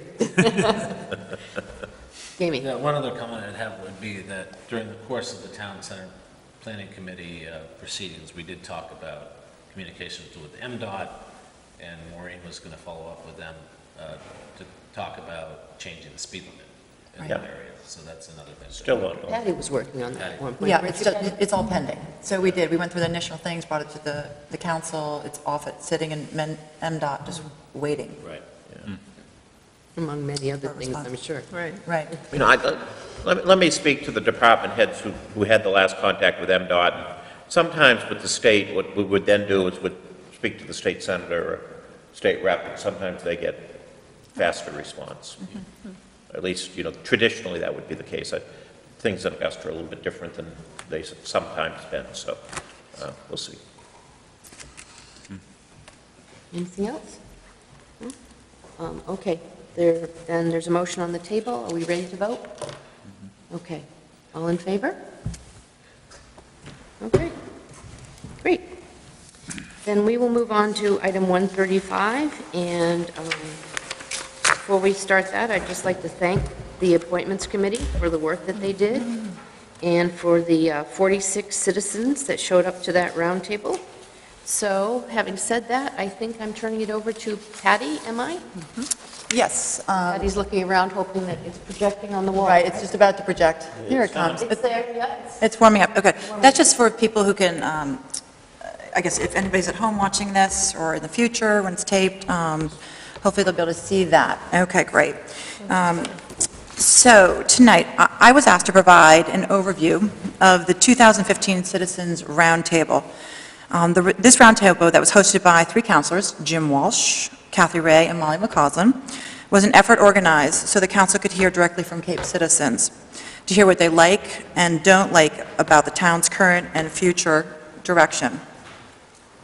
This pres- presentation will hopefully do two things. Uh, First, highlight comments and themes we heard at the roundtable, and second, to create a list of strategic goals and objecti- objectives for the council to consider at its goal-setting workshop. Um, However, it's important to note that this is only one step of a five-step process to determine council goals for 2016. We'll also consider input from the tax bills, tax bill survey results, input from the town's committees and boards, ideas from incoming and outgoing councilors, and last step will be to prioritize all this input and solidify our goals for next year. So, general comments, background on the roundtable itself. Um, There was a good turnout, there was about 50 people, 49 exactly, who attended. There was a diverse demographic with a wide representation of opinions and suggestions. Um, The major overriding theme that I heard from um, this is that we heard that the council can do a better job of communicating. Um, This is one of the reasons we are actively bringing forth the feedback we heard from the Cape citizens uh, tonight. So from all this discussion emerged 16 comment categories. I'm going to go through each of the categories briefly and give you the, kind of the gist of what was said, Um, but the full overview can be found on the town website. So the first category, budget. We heard that the council should do more long-range planning. Um, You'll hear later about the capital improvement plan and how that plays into long-range planning. The second category, cell towers and service. We heard just do it. Um, I think it's safe to say that our community wants and deserves reliable cell service. Category three, committees. We were urged to create better use of committees, better clarification of responsibilities, more diverse re- representation on town council, and more balanced committees. Number four, communication. A few ideas we heard um, is that public comment should be heard the month before a council vote, that we should record town council workshops on Cape TV, use social media for input, do a better job of repres- to represent interests of all citizens. The tax survey was a great tool, and to establish more accountability and communication of goals. As for communication, clearly, you know, we can always do a better job of communicating with the public and should consider updating our communication strategy. However, we do have some mechanisms in place, and as we heard earlier, that Jim, you are largely responsible for that and deserve some accolades here. Um, But our town website has lots of information, there's an RSS feed available. Public comment is available at the beginning and end of every meeting, and also at the start of any agenda item. Cape TV carries meetings live and replays meetings throughout the month, and there's also video of regular meetings is always available on the town website. Category five, community service- services. The major comment was do a pool study. Six, comprehensive plan. The feeling was that might be time to update the comprehensive plan. Next year, the comp plan will be 10 years old, and also consider updating the 2005 Credit Call Insight Study. Number seven, development. Comment themes were focus on bottom-up versus top-down development ideas. We need affordable housing in town, balance development with green space in our town center, and keep multi-unit development in town center oh, and on main roads. Um, Clearly, the issue of development is a hot one in our town, and updating the comp plan will hopefully do two things. Allow for lots of citizen participation and input, and seek to balance private property rights with town's development objectives. Number eight category was Fort Williams. We heard that pickleball wants its own courts. Obviously, tonight, we um, began that process and have some resolution moving forward. Look at creating a community amphitheater with for-profit and not-for-profit options. We got mixed reviews on demolishing or keeping Goddard Mansion. Tonight, we affirmed that we are going to continue to stabilize that. Um, As for Fort Williams, the Fort Williams Master Plan established in 2003 and was updated in 2011, and perhaps it might be time to revisit and update that plan. Number nine, infrastructure. Lots of feedback here. Um, Asked to address facility needs in a fiscally responsible manner. Uh, Reviews 77 Shore Road intersection. Um, Tonight, we uh, continue to agree that we'll, as town development continues, uh, that we'll continue to review that. Look at sewer connections at Kettle Cove and Crescent Beach. Publicize capital improvement plans and priorities. As for infrastructure, um, here's some info the public might like to know. Um, We have a new updated capital improvement plan for 2017 through 26. It's available on the town website. This plan provides 10-year cost projections for all infrastructure improvements. Of note, all projects or capital expenditures are approved by town council, and all projects with projected costs of a million or more must go to town um, vote for approval. Category 10, open space. Themes here were to preserve land, to collaborate with CELT, and to implement, implement recommendations from the Open Space Committee uh, report. Public safety, issues and concerns centered around security at parks, speed on the roads, and bike and runner safety on the roads. Uh, We did share these issues with the police, and they held a meeting in October, and um, these address, they plan on um, addressing these concerns. Category 12, renewable energy. It was suggested to strongly investigate renewable energy options, establish a committee, and explore making town buildings more green and energy efficient. 13, school, school board. Emerging themes were council should work more closely with school board to assess budgets, want town council to fully fund schools, and want town council to recognize schools as a stated priority. 14, staffing. We were asked to consider more shared positions in town, specifically to share the town planner with another community, as we do now do with the town assessor. 15, town center. Themes we heard were concerns with town center plan, development, and process for input, safety intersections near Cumbies and at Top of Shore Road, and a need for a light there, need for a lower speed limit in town, and a desire to keep the town center rural. 16, last category, transportation, major theme, uh, people like the walking paths. People want more road paths, um, Lakeshore Road, especially on Mitchell and Fowler, and as well, we heard that people want public transportation to South Portland. So, um, basically what we did is we took all this information, and we distilled this feedback from the Citizens Roundtable and came up with 11 recommended goals. Um, I guess it's important to remember again that this is only one piece of a multi-pronged approach to establishing the goals.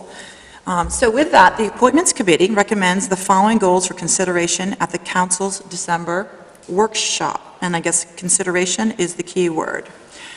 Um, The first is address cell tower service.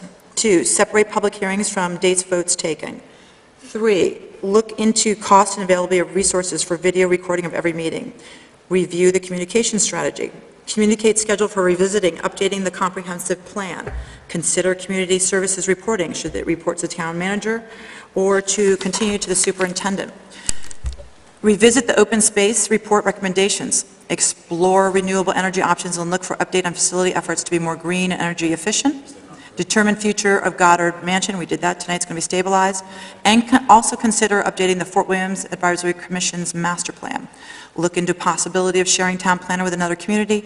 And finally, explore expanding paths, walkways in town.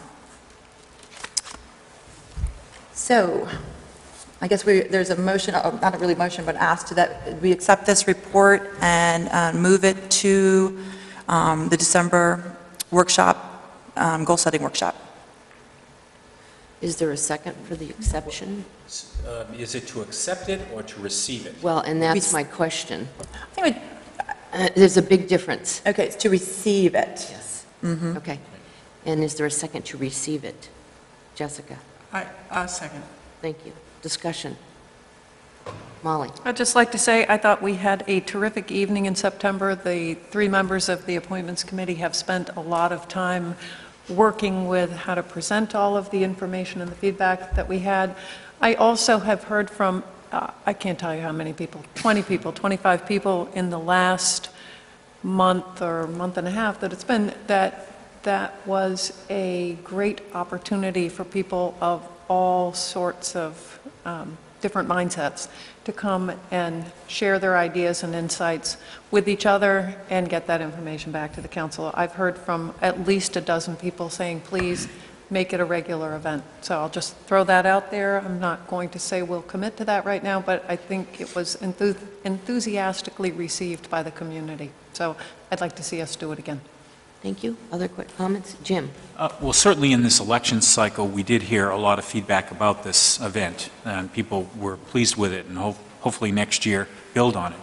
But it is just one more slice of information that you, as the new sitting council, are going to have to consider. I mean, granted, it was only, you know, 49 people in the room, and granted, they, they were, they came with their, in some cases, their folks came with specific things they were addressing, and they were going to drive that home, whether, whether it was that meeting or any other meeting. So, so I, you know, I just think it's, it's great information as you guys go into your December meeting, frankly. Um, And pleased that we were able to put it together. I know it wasn't quite what we had originally thought we wanted to do, but we recognized time is of the essence, and this was the best uh, resource utilization at the time, so. Thank you, Jim. Other, other comments? Um, I, I- think I'd I'd echo what Jim said. It's, it's a piece of information, um, and um, it's something to be considered when we're looking at all the information that we get. Um, um, And uh, I guess we'll see, we'll see where it goes. I mean, when I looked through the report, and you did a wonderful job, it's, it's interesting because, you know, I think we all know as town councilors, that we get conflicting information all the time. You know, I want A, I want Z. And then we're trying to balance, okay. And sometimes the people who want A are very passionate that it's A or it's nothing. And sometimes the people that are Z, it's Z or it's nothing. And I think as town councilors, we oftentimes have to realize that we have to compromise and find something in the middle. Um, The report itself has contradictory information in it, so, um, which is, is very typical of what we get when we get a group of people. Um, You know, I, I think about uh, some of the bigger issues that we dealt with this year. And that we had people that were all over the place, and then we as a council had to say, okay, how do we make a decision? How do we do something? And I think the the Rod and Gun Club is a perfect example of trying to run things down the middle. And some people were happy with some of it, some people weren't, and, but nobody was completely happy. And, and I think that's because we did our job. Um, So I think this is good information, and, you know, as Molly said, we should do some more of these, um, and, you know, get some more information. And then as a council, I think, and as individual counselors, you take the information and you use that um, when you come to make your decision. Because as a counselor, you make a decision, and we're not here to be head counters. We're not here to say, well, 12 people want this and six people want that, so we're doing the 12. It's not our job. We don't need that. I mean, we don't need to be, have a council if that's going to be, we're going to be head counters, so. um, But anyway, thank you. I appreciate it, and I appreciate all the work, and I don't know how you do the overhead, because, boo, I couldn't do that. Um, Yes, Jim? Kathy, through the, uh, just for the record, maybe Molly could share, we did a deep dive on what worked well and what didn't work well mm-hmm. in the report out by, You mean on, on the on actual on meeting the actual itself? meeting. Oh, okay, yeah. And I think that, I- maybe Molly wants to carry the ball on this, but we, we made some interesting observations about the practices that were employed during the readout. Mm-hmm. And that what you got today was more information than you would necessarily receive had we done a better job in the readout. What we would have done is charged the readout with prioritizing the mm-hmm. top two or three. Mm-hmm. Okay? Stack And rank. then we would have asked the 49 people to circulate for five or 10 minutes and do your prioritization, mark, you know, what you thought, but, I mean, So like when you put the stickers on and It's get the exactly- most Absolutely, yeah. because, because again, if you, if you go forward the next time, one of the ways to really, you know, sort of synthesize this down to something that's even more valid than the current, would- which is really a list. Yeah. Would have, would have been to do something like that. Again, long and short of it is, look, hey, it's all, it's all more information to make better decisions about your goals going forward. Well, and, and, you know, obviously, this was the first blush, so, I mean, I think you did a great job, considering it was the first, first one of these kind, I you know? gotta say, it was, By the time you're finished, you'll have me. it down to a science, you know? We need three hot dogs and, you know, three sodas and, you know, whatever, so. yeah. Uh, so, And I didn't mean to sound like I was preaching, I was saying how I use this information. So I didn't mean to sound like I was preaching to the council, 'cause Yeah. you all make your own decisions. Molly? Kathy, I'll just follow up on what Jim said. I think the Appointments Committee has in our meeting minutes from last month um, four specific recommendations on how to move forward next year, and I think we will just forward those to the council at some point in the future, so that if and when the council decides to do this next, whatever, August or September, that those items could get factored into the decision-making process. Um, In terms of the comments that you've made, I I do want to be really clear. I think Patty said this right up front. This is one of, I think she said five prongs, five opportunities for the council to hear and think about the process for determining goals for the next year. So I want to be very clear from, as chair of the appointments committee, it's not that we are recommending 16 goals. I think it is that we are trying to present fairly what we heard, which of course does include contradictory results and comments and reports back, because we have 9,000 people in town who have 9,000 different opinions about all sorts of issues.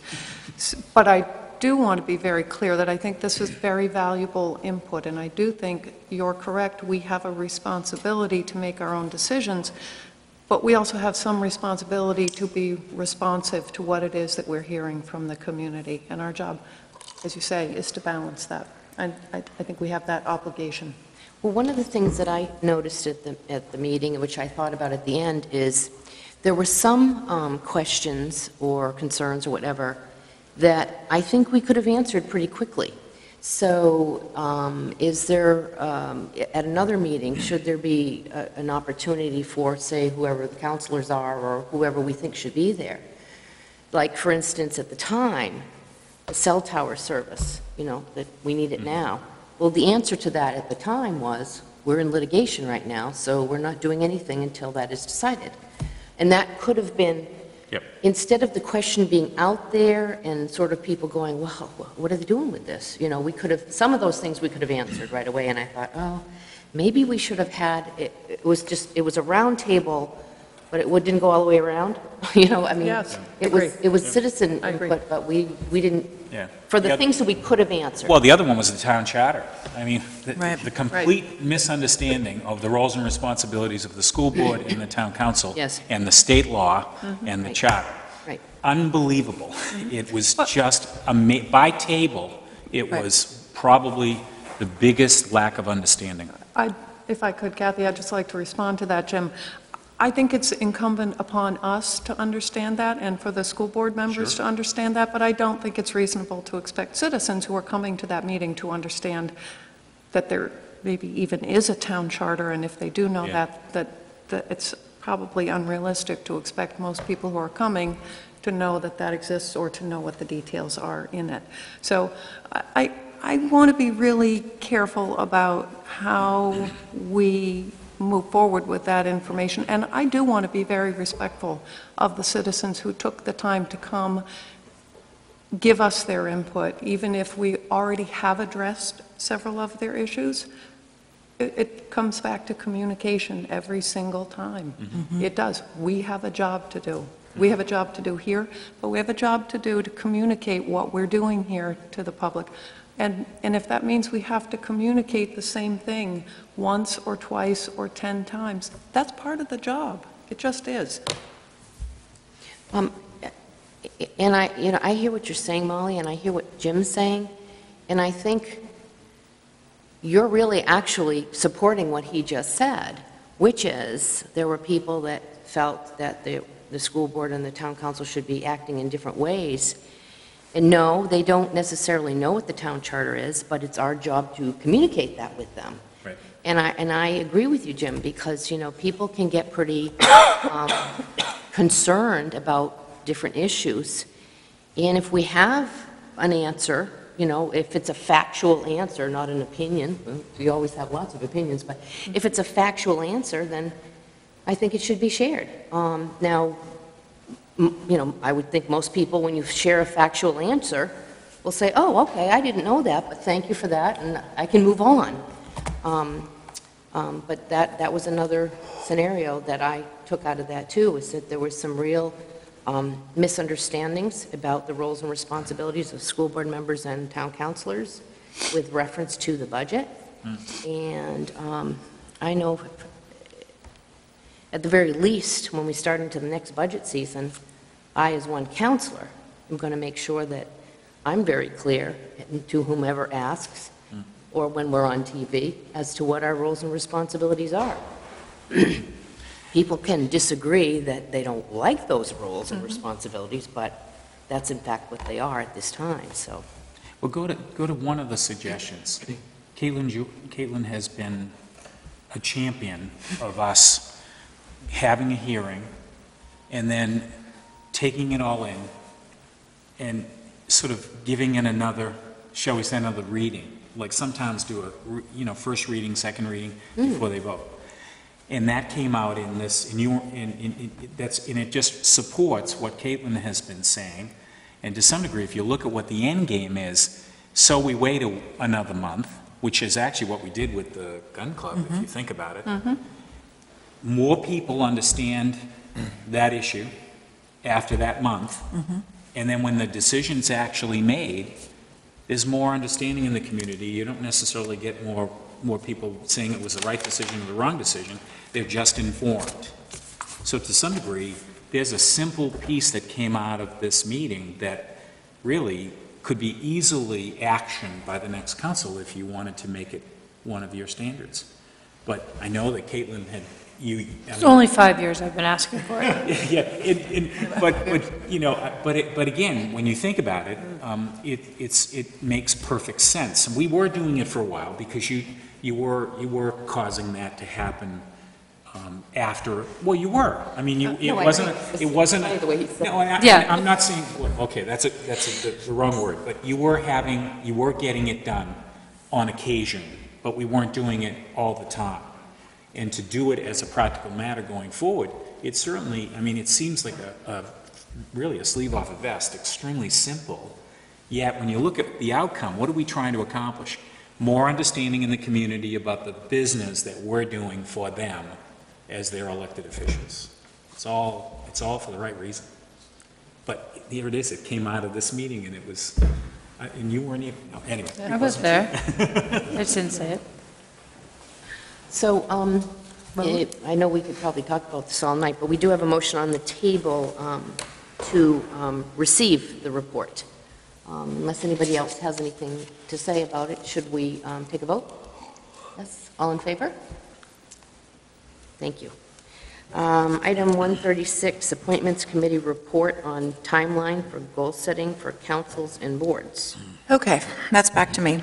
Um, So Appointments Committee, we set up a timeline that um, establishes, I guess if you look at this, a, a top-down and a bottom-up approach to training and goal setting. Um, uh, Training, here is laid out uh, throughout the year, would it be to deal specifically with um, meeting norms, minute-taking, um, FOIA, all the different things, would be kind of a top-down approach, which would come from um, the town government and make its way down to committees and boards, and then committee members.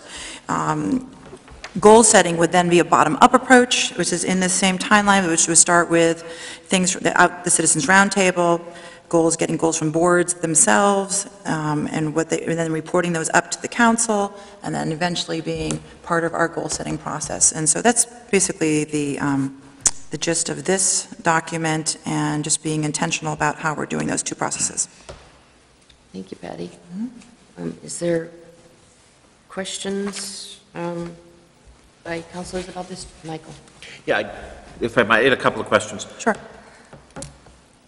You know, is this intended to be, you know, are you approving, is the intent to approve this as a direction for staff to work with the council to see that all implemented? Is is that the intent? I have no idea. Where did this come? Um, The appointments committee. um, Can I respond to Yeah, that? Molly. Uh, I'll, I'll say a couple of things. I think what we're trying to accomplish is twofold. Number one, if you look at, I think it's November, where we mention the town holds training for department heads and staff liaisons to boards on roles, responsibilities, and expectations.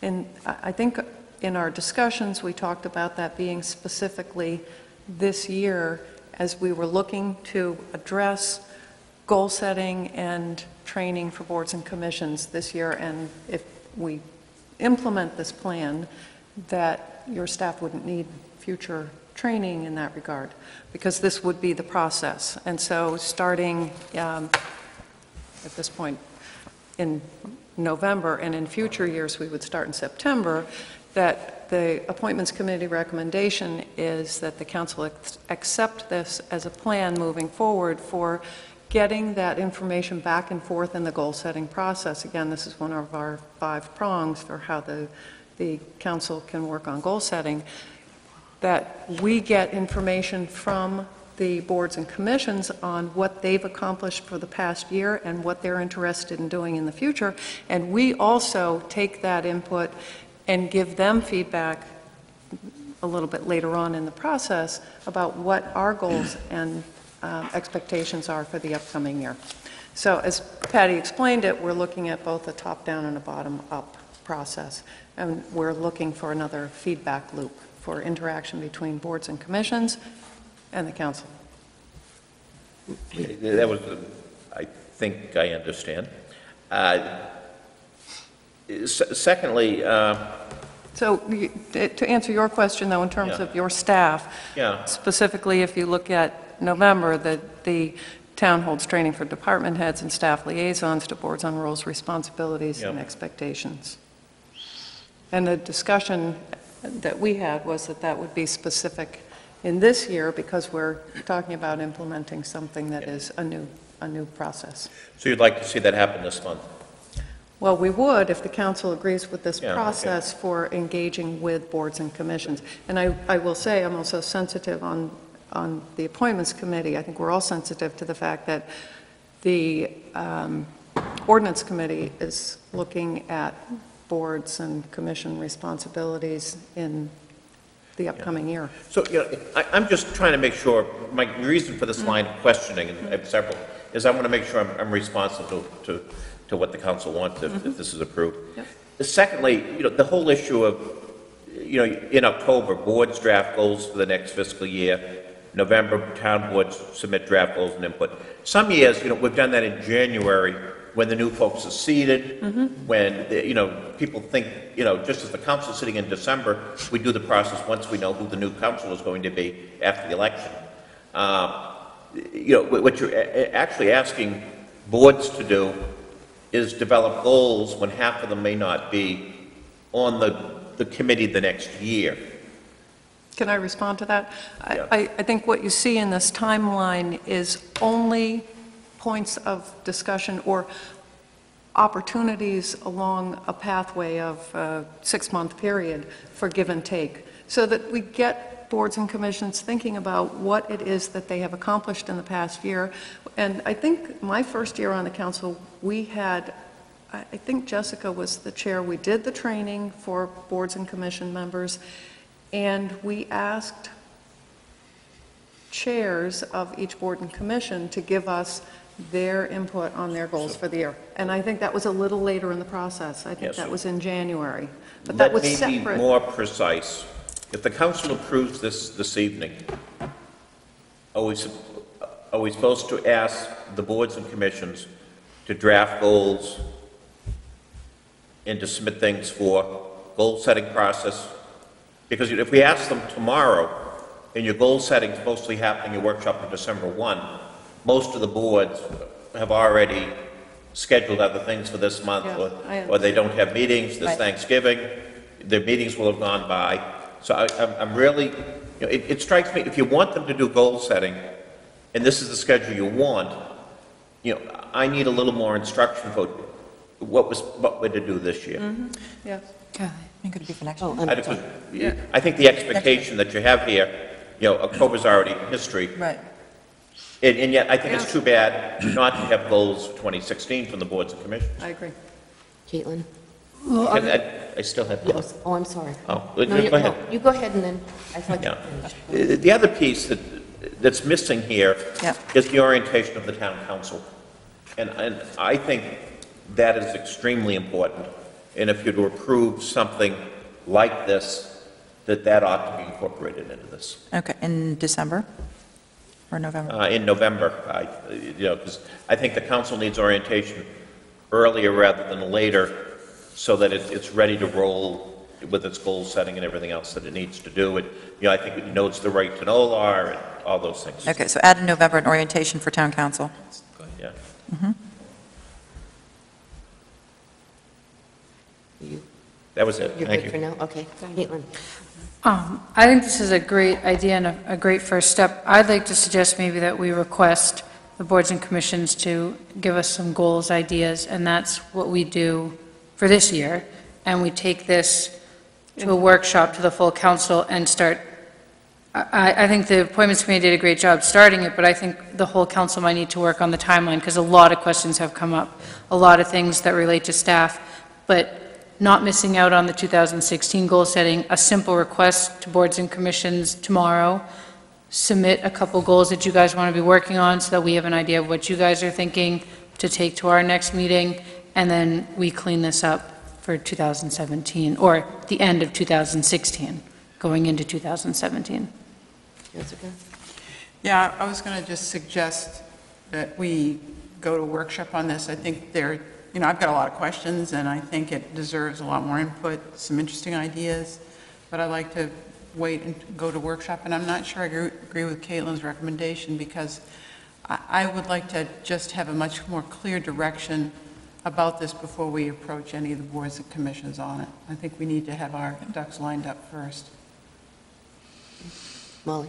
I, I actually like the idea of going to workshop. I think our expectation was that we actually were going to originally go to workshop with this, and then we ended up missing because we had a September meeting, and then we thought we'd be on October workshop, and then we had a meeting in October, and it made it onto the agenda for November for a regular meeting. We're not opposed, I I don't want to speak for anybody else, but I don't think we're opposed to doing anything at a workshop. But I do think it's really helpful to ask for input before we do our goal setting at the council level. Mm-hmm. Again, one of those five prongs, I think it's really helpful to get the input from board and committee chairs to see what they have going on and what they'd like to see us doing here.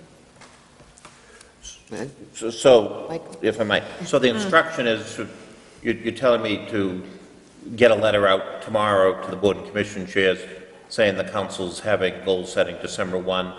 If they have any particular suggestions for goals, they should submit them, even though they may not have a chance to consult. You know, I don't want to tell them to consult with the committee by email because Right, that, yes. Right. We we've gone through understand. that. We're not Yes. doing that. Yes. Uh, And a lot of them don't have meetings In November. Between now and then. Yeah, a lot of them don't. Or they've already had them. Well, you can make an attempt for this year, and certainly in the future, we could set it to workshop, Right. clean it up, but, I mean, it- I don't think there's any harm in reaching out and asking without a really clean process. I think that what you suggest, Mike, is not You know, a bad idea. Just- If I might suggest something else, what if we just did an old-fashioned letter? We, we could do mail merge to every board and commission member and ask every member, put, put a little sheet in, please suggest any goals. That way, because we don't generally treat the chairs as having any special extra standing for goals. Right.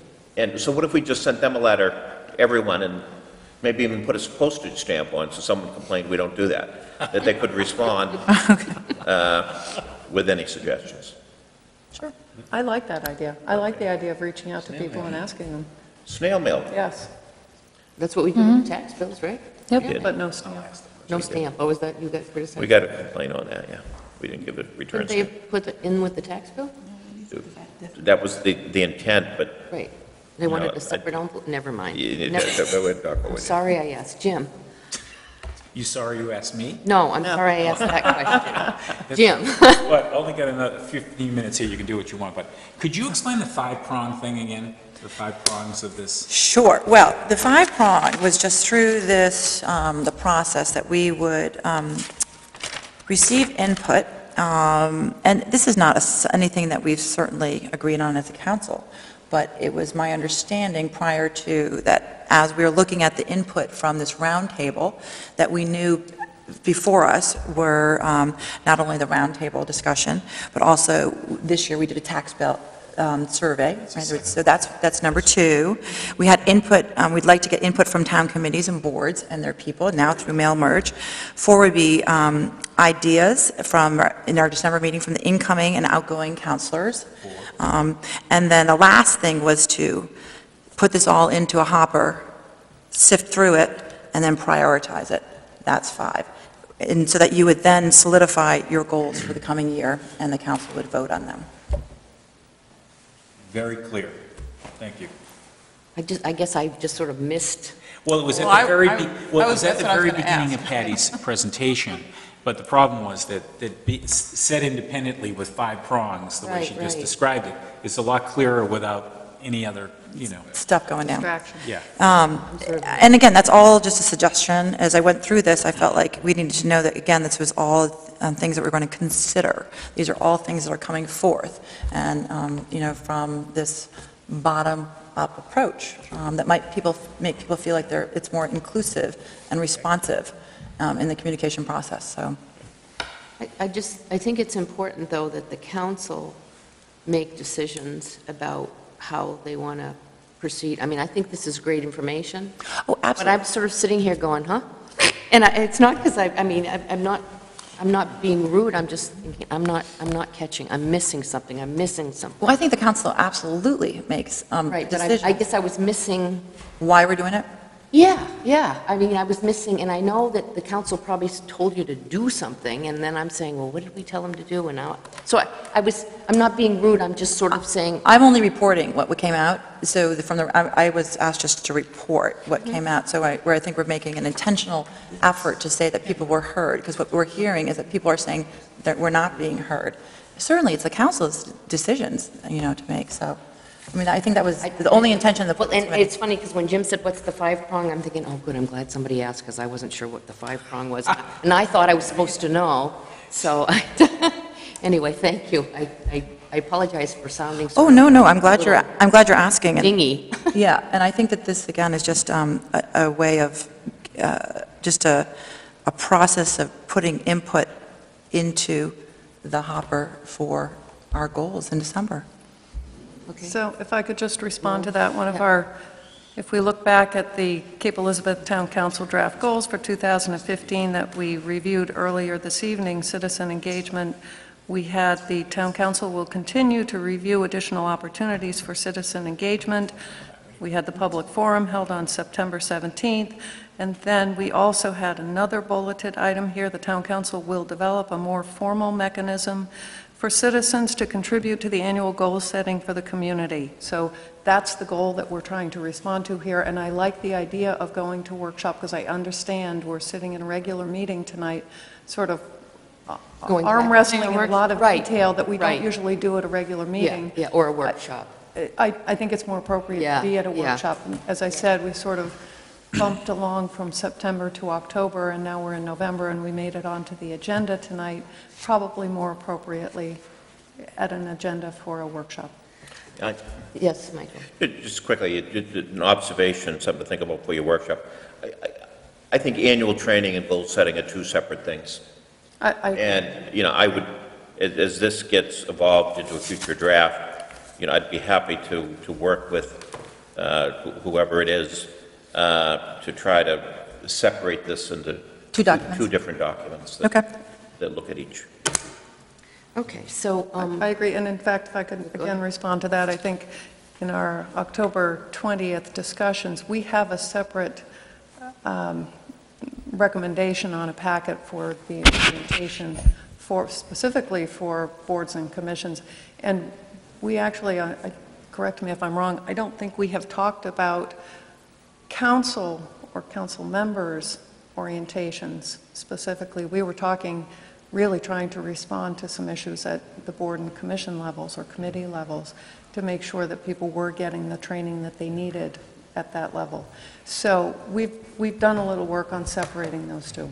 Just- on that note, if I might, I am meeting tomorrow with the chair of the appointments committee specifically to, to, to, since they've been working on orientation issues and training issues, I'm meeting with the chair of the appointments committee to talk about the council orientation on November 18th. And a lot of you may be hearing subsequent to that meeting that you, you might be participating and helping to contribute to providing that orientation. thanks for the heads up. Um, So, stay tuned. Caitlin? I was just wondering if you would like a motion to move this. Well, I'm trying to figure out what we do with this item. so That's why I was asking if you'd like a motion. I'll- It's a workshop. Well, a motion to have the letter go out to all the members of the boards and commissions looking for a suggestion box return for our goal setting, and to move the timeline for what we're reviewing now to a workshop. Do, do you need that, Mike, or That's can fine, you if that's just? what the council wants, that's fine. Because I was thinking he could just do what he wants to do, but it doesn't matter. So is there a second to that motion? I'll second it. Thank you, Jim. Any more discussion? I- it- Just on that point, I think it helps to me when this letter goes to the council, so the council asked. Yeah. Yeah, okay, great. Uh, any- Anything else? Uh, Oh, Jim, yes? Just, just one comment before we move to, if we're going to, you know, we- th- this year's been an interesting one with the committee that I've been involved with. And a lot of it is around clarity of goals and objectives and purposes of not only that board, but also this board. And the lack of that understanding leads us to uh, trying to be more clear about it and have a roadmap laid out. And this is an attempt to try to get, and I applaud Molly's uh, work to try to get a little clarity about it in terms of where we're headed, but it does require more work from a workshop standpoint, but I, you know, I applaud the effort because, you know, I think it's, it's only going to lead to everybody moving in the right direction and understanding what their roles and responsibilities are. Well, as Jim, as you always say, it's like herding cats, right? Well, it can be. And I, I know you want to move on, but you know, I think we're doing 90% of this anyway, but it Yeah. goes back to Caitlin's question earlier in the evening. Is this a policy? Where is it written? Where can I see it? And we're doing most of this, except it hasn't been committed to writing and saying, the council formally saying, this is what we want. And it changes from year to year, right? Hmm? It- We do most of it, but sometimes it happens, sometimes it doesn't. It changes from year to Well, year. yeah, the council, sometimes they want to do these citizen roundtables. Yeah. Sometimes the council, oh, you know, let's not do that this Right. year. Yeah. Okay, so are- are we ready to vote? Or did you want to say something else, Mike? I don't want to say anything. Okay. Oh, All in favor? Okay. And then, uh, item 137, um, Appointments Committee Report on Letter to be utilized in your orientation. Um, Molly, is it you? Patty? It is me. I'll give you a little bit of background. We were asked at the September 9th workshop to review and make recommendations to update the 1978 Adams letter. Um, I'm looking at Appointments Committee uh, meeting minutes and meeting notice. This letter is just one resource to aid in the town's effort to better educate board members on their responsibilities, expectations of uh, board members, rules, policies, laws, freedom of access, et cetera. So we took a look at this uh, Adams letter in our September meeting. We did a quick draft and a revision in September. We sat down and reviewed it again in October. We have a draft for the council to look at tonight and hopefully approve tonight um, so that we can use that as the welcoming letter for new board and commission members coming in for the upcoming year. Thank you, Molly. Thanks. Is there a motion? I Jim. move we accept the recommendation and the letter that's contained in our packets this evening. Thank you. Is there a second? Jamie, thank you. Discussion. Jessica? Has the town attorney reviewed this? It's a good question, and I don't believe so. Hmm? Has the town attorney reviewed it? And does the town attorney need to review it? No, I, that that was I don't think question. specifically, no. Pardon? I'm I, sorry. I don't think, you know, if you, if you want me to forward it to him, I will. It, you know, I, looking at it, it looked to me like it was mirroring what we'd received in earlier correspondence, and Right. my sense is that the appointments committee had looked at the earlier correspondence and coming up with this letter. Our goal was to really update the language a little bit, but leave the intent pretty much the same. But if the council wants to go to the attorney, we can do that. Jamie? Yeah, I mean, I, I read the, the, the letter and I thought it was good and I thought it reflected what the town attorney's advice was. I think we could save the expense. And Caitlin? one of the things we did, we added links to it, to it because we felt like they needed to see, they could go to the law itself if they needed to look at FOIA or whatever. Well, and I was going to ask about that. Um, Is there, a is there like a a flyer that you could get that is really much, you know, much clearer in terms of, I mean, you can go to the law and you can read it, but it's, mm. you know, sort of goes on and on, and, you know, subsections, subcategory, blah, blah, blah. And I'm wondering if there's a mm. flyer that the state, pro- yes? There- There's, you know, the MMA puts out frequently asked questions. Mm-hmm. There are many different tools and resources uh, on this particular law.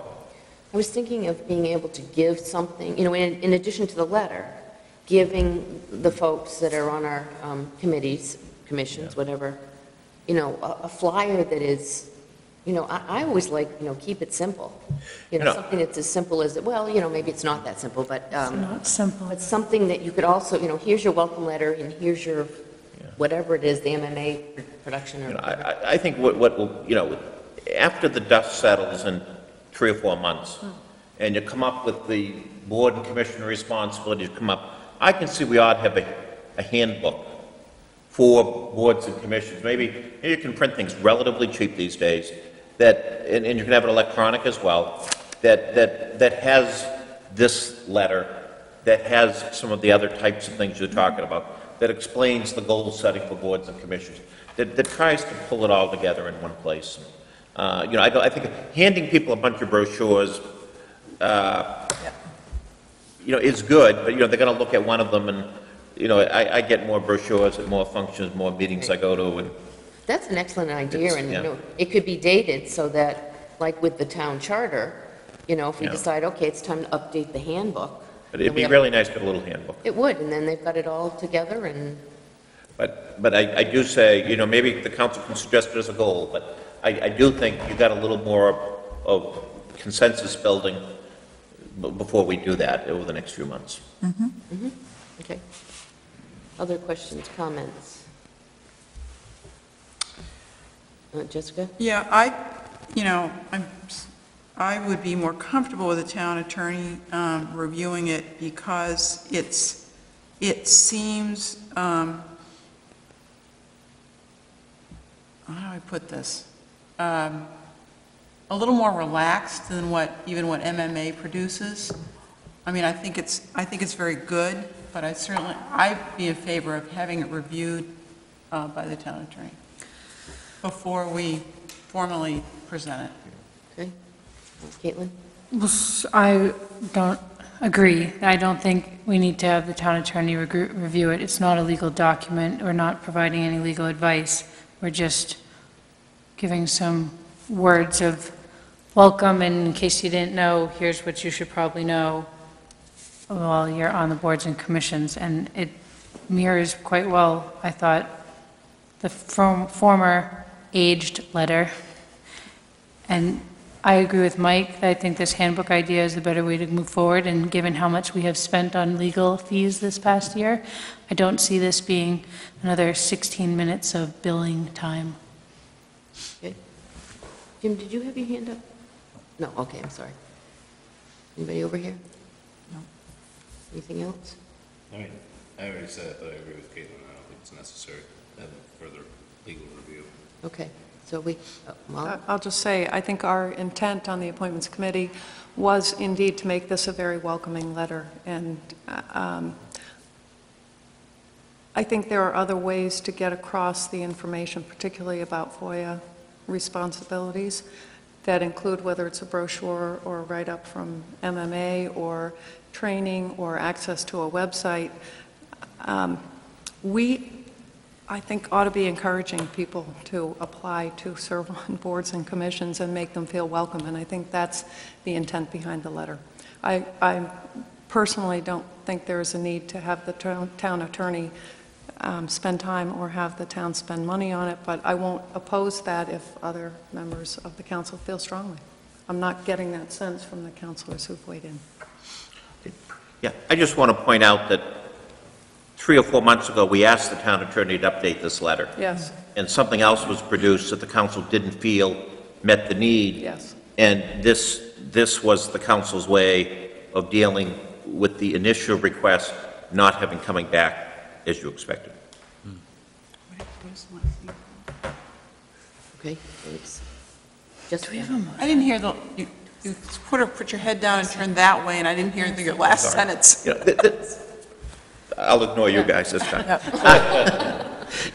Yeah, this all started, uh, you know, three or four months ago, and we, we actually asked the town attorney to update the, the Adams letter, and he ended up producing something that, that, that, We didn't want. you know, was, was, was very good, but it But didn't meet the council's expectation. Mm-hmm. So as a result, the council said, we don't want to use what he came up with, let's come up with our own, and the council's come up with their own, and, you know, I'm not sure we want to start that whole route again.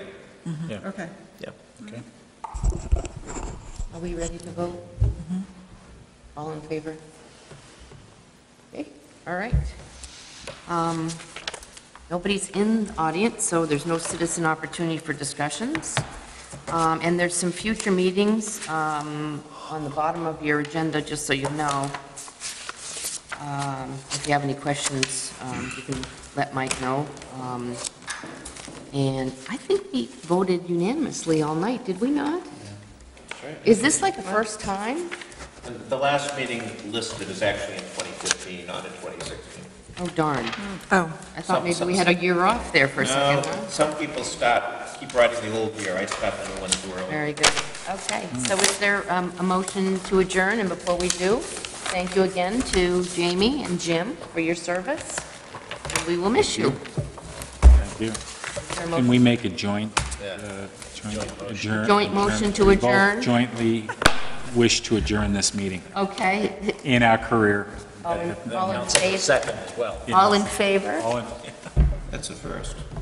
Yeah, there we go. Mm. Thank you. Thank you. Congratulations.